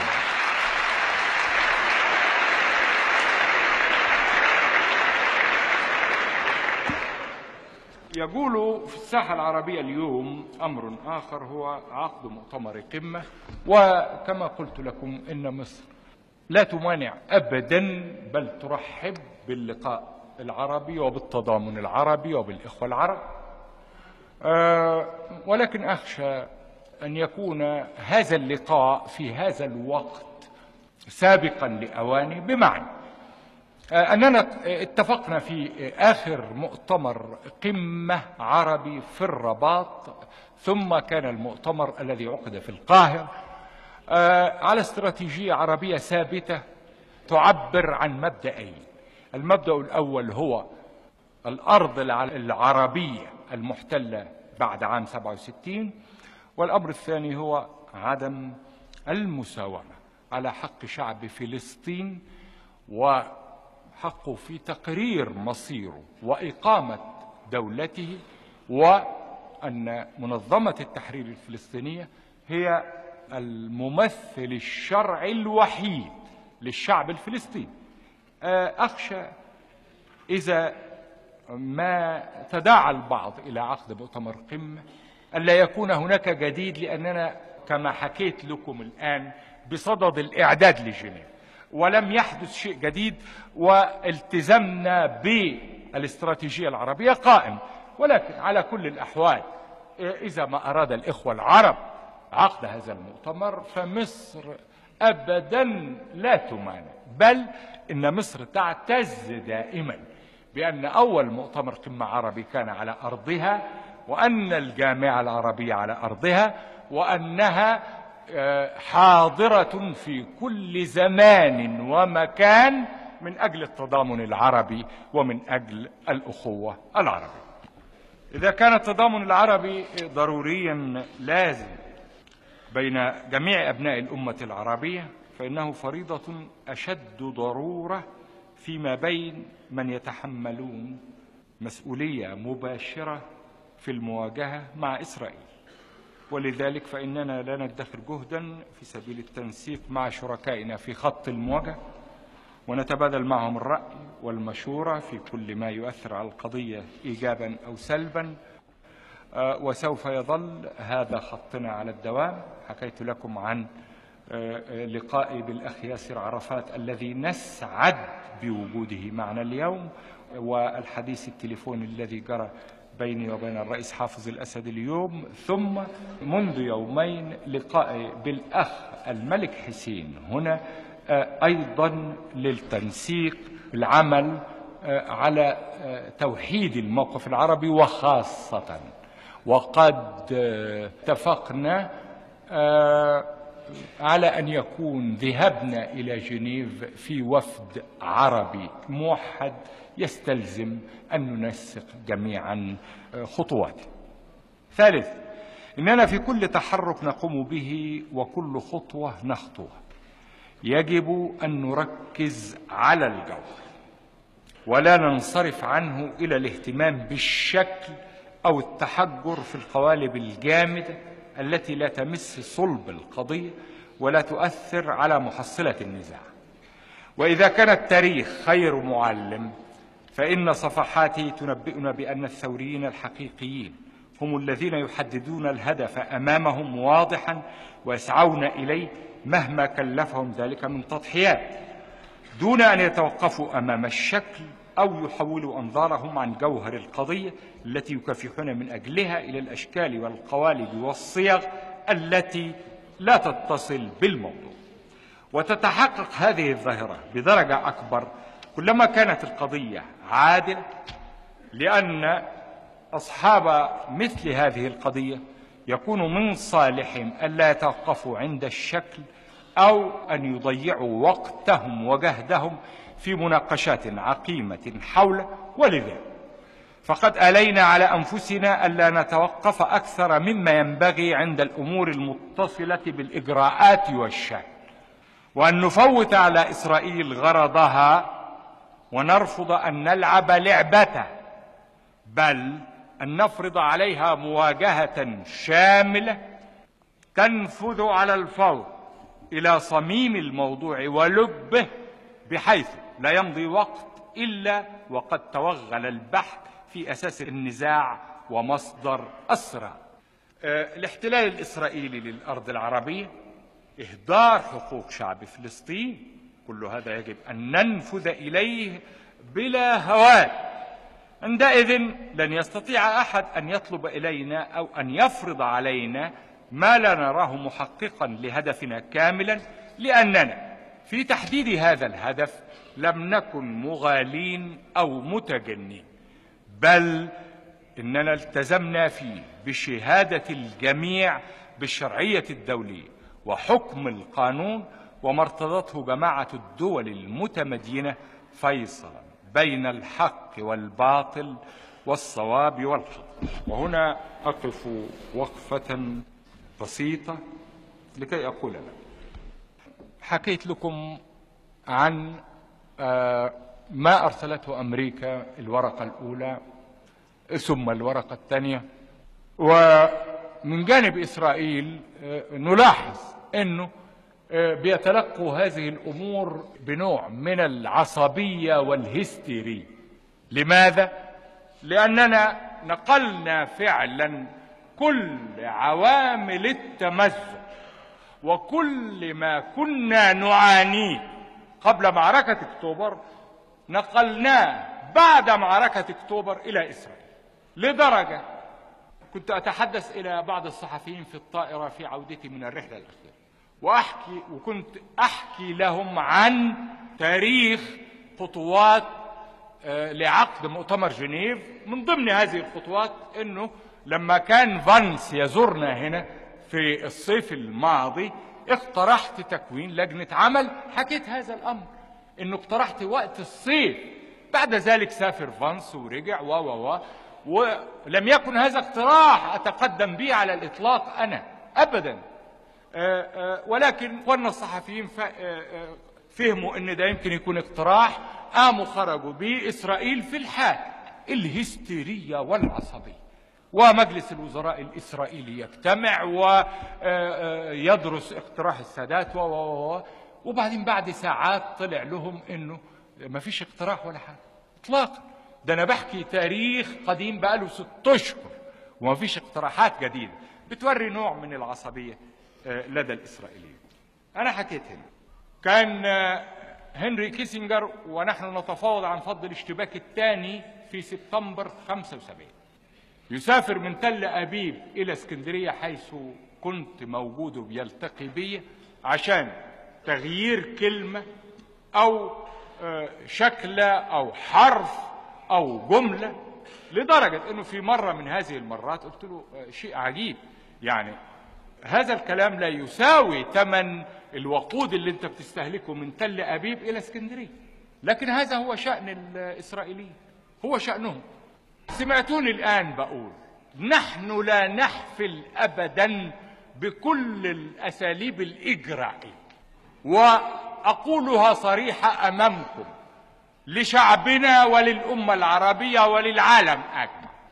نحن مستعدون للذهاب إلى جنيف والجلوس من أجل قضية السلام بغض النظر عن كل تلك الدعاوي الإجرائية التي تتمسح بها إسرائيل وتريد أن تضيع علينا آه، الفرصة أو أن تثير أعصابنا لكي نقول كما كنا نقول في الماضي لا لا نريد ولا نذهب وتخرج هي إلى العالم بأنها داعية السلام. أبدا. أي عملية إجرائية أنا موافق عليها ليه؟ في النهاية. في النهاية لما نروح جنيف عندما نذهب إلى جنيف لن تستطيع إسرائيل أن تمنعني من أن أتمسك بالأرض المحتلة بعد 67 الأرض العربية.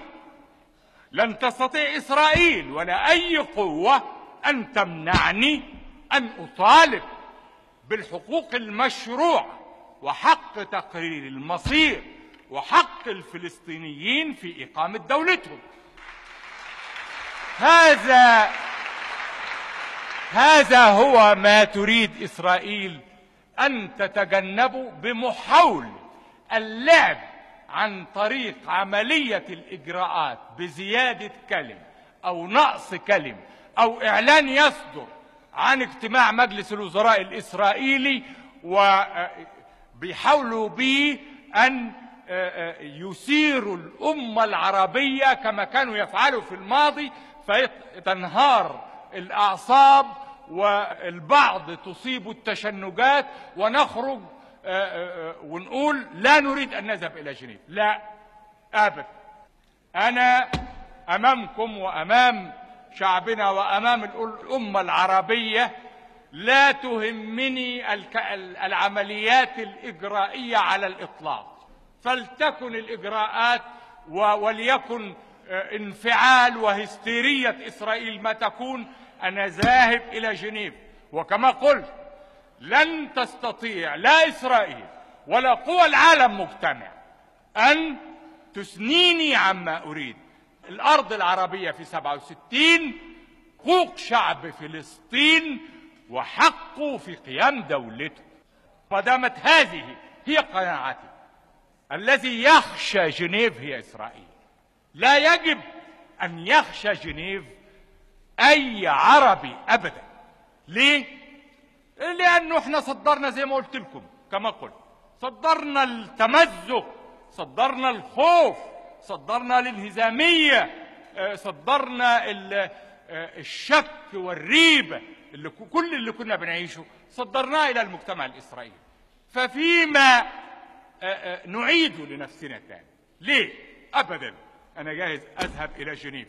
بل لا أخفيكم وأنتم ممثلي الشعب. وعلى مسمع من شعبنا. وعلى مسمع من أمتنا العربي. سمعتموني أقول أنني مستعد أن أسافر إلى آخر هذا العالم. إذا كان في هذا ما يحمي أن يجرح مش أن يقتل أن يجرح عسكري أو ضابط من أولاد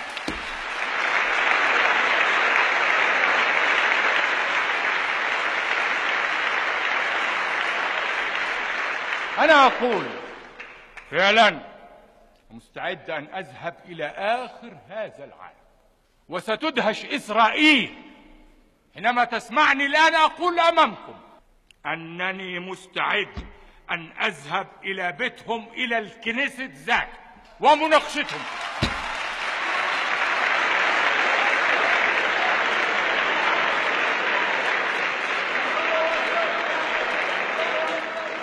أحمد الله.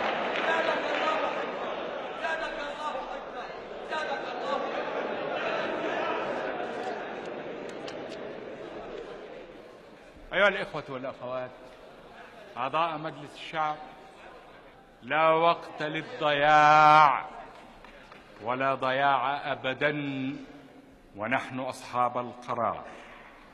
ولا قرار إلا بإذن الشعب والشعب. يريدنا أن نتجه إلى الأمام لكي نعوض ما فات وما فاتنا كثير. الشعب يريدنا أن نعمل بأكثر مما نتكلم. الشعب يريدنا أن نعطي كل العرق لبناء الغد الجديد.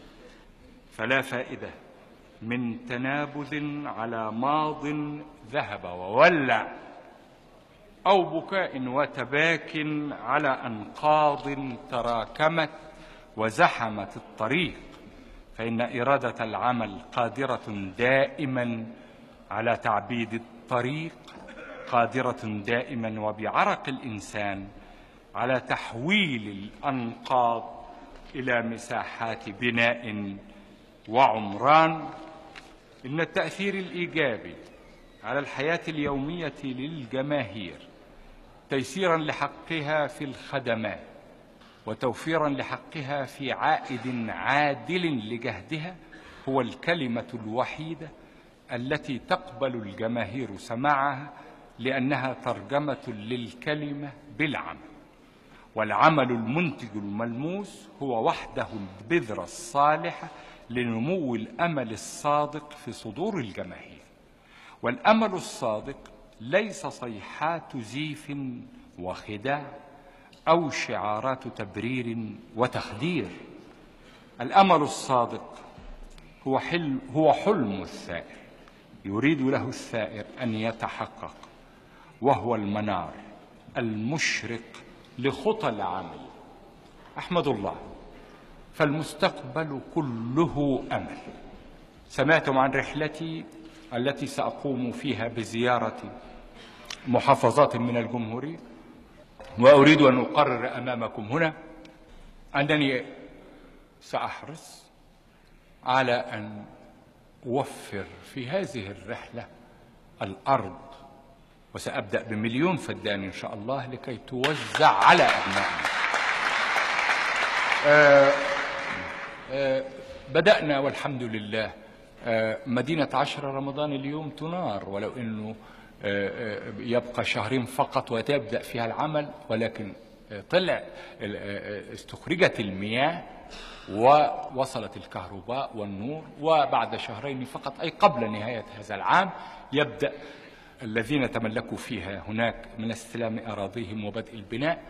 مصانع البيوت الجاهزة وصلت. التركيز على الطعام كما قلت لكم بكل قوة وبكل تركيز مستمر. آه، أعدكم أنه في منتصف العام القادم إن شاء الله ستكون آه، الإنجازات واضحة في هذين المجالين وهم مجال الطعام والإسكان. آه، أعدكم آه، أن آه، في رحلتي المقبلة أن آه، أبني الأمل لكل مواطن في هذا البلد لكي يبني حياته. ولكي يتملك من أرضنا الطيبة أرضنا وهي أنبل ما في مصر. لكي يتملك جزء من هذه الأرض فيحس دائما بالانتماء. آه، في كل النواحي. آه، أتابع برغم كل ما آه، أقرأه. أتابع الإنجاز اللي بيتم بواسطة آه، الحكومة في كل المرافق التي أهملت كالتليفونات وغيرها وكيف أنه آه، أحدث ما في العصر الآن بيستخدم لإزالة كل هذه المعوقات.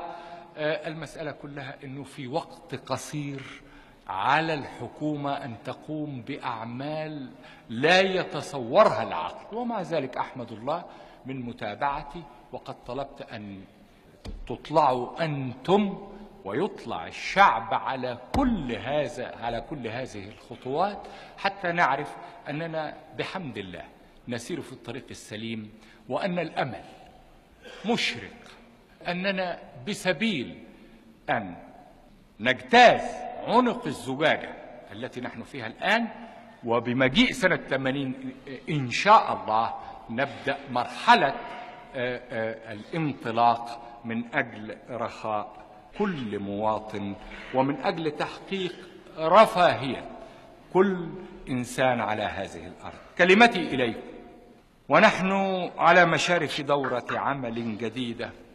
ازرعوا الأمل. افتحوا طاقات النور. اطردوا الأحقاد. صانعة الشر والشرور. بشروا بالعمل. بشروا بالإيمان. بشروا بالحب بالعمل وبالإيمان. والحب نصنع الخير ونبني أمجاد الحياة. ربنا لا تزغ قلوبنا بعد إذ هديتنا وهب لنا من لدنك رحمة إنك أنت الوهاب. السلام عليكم.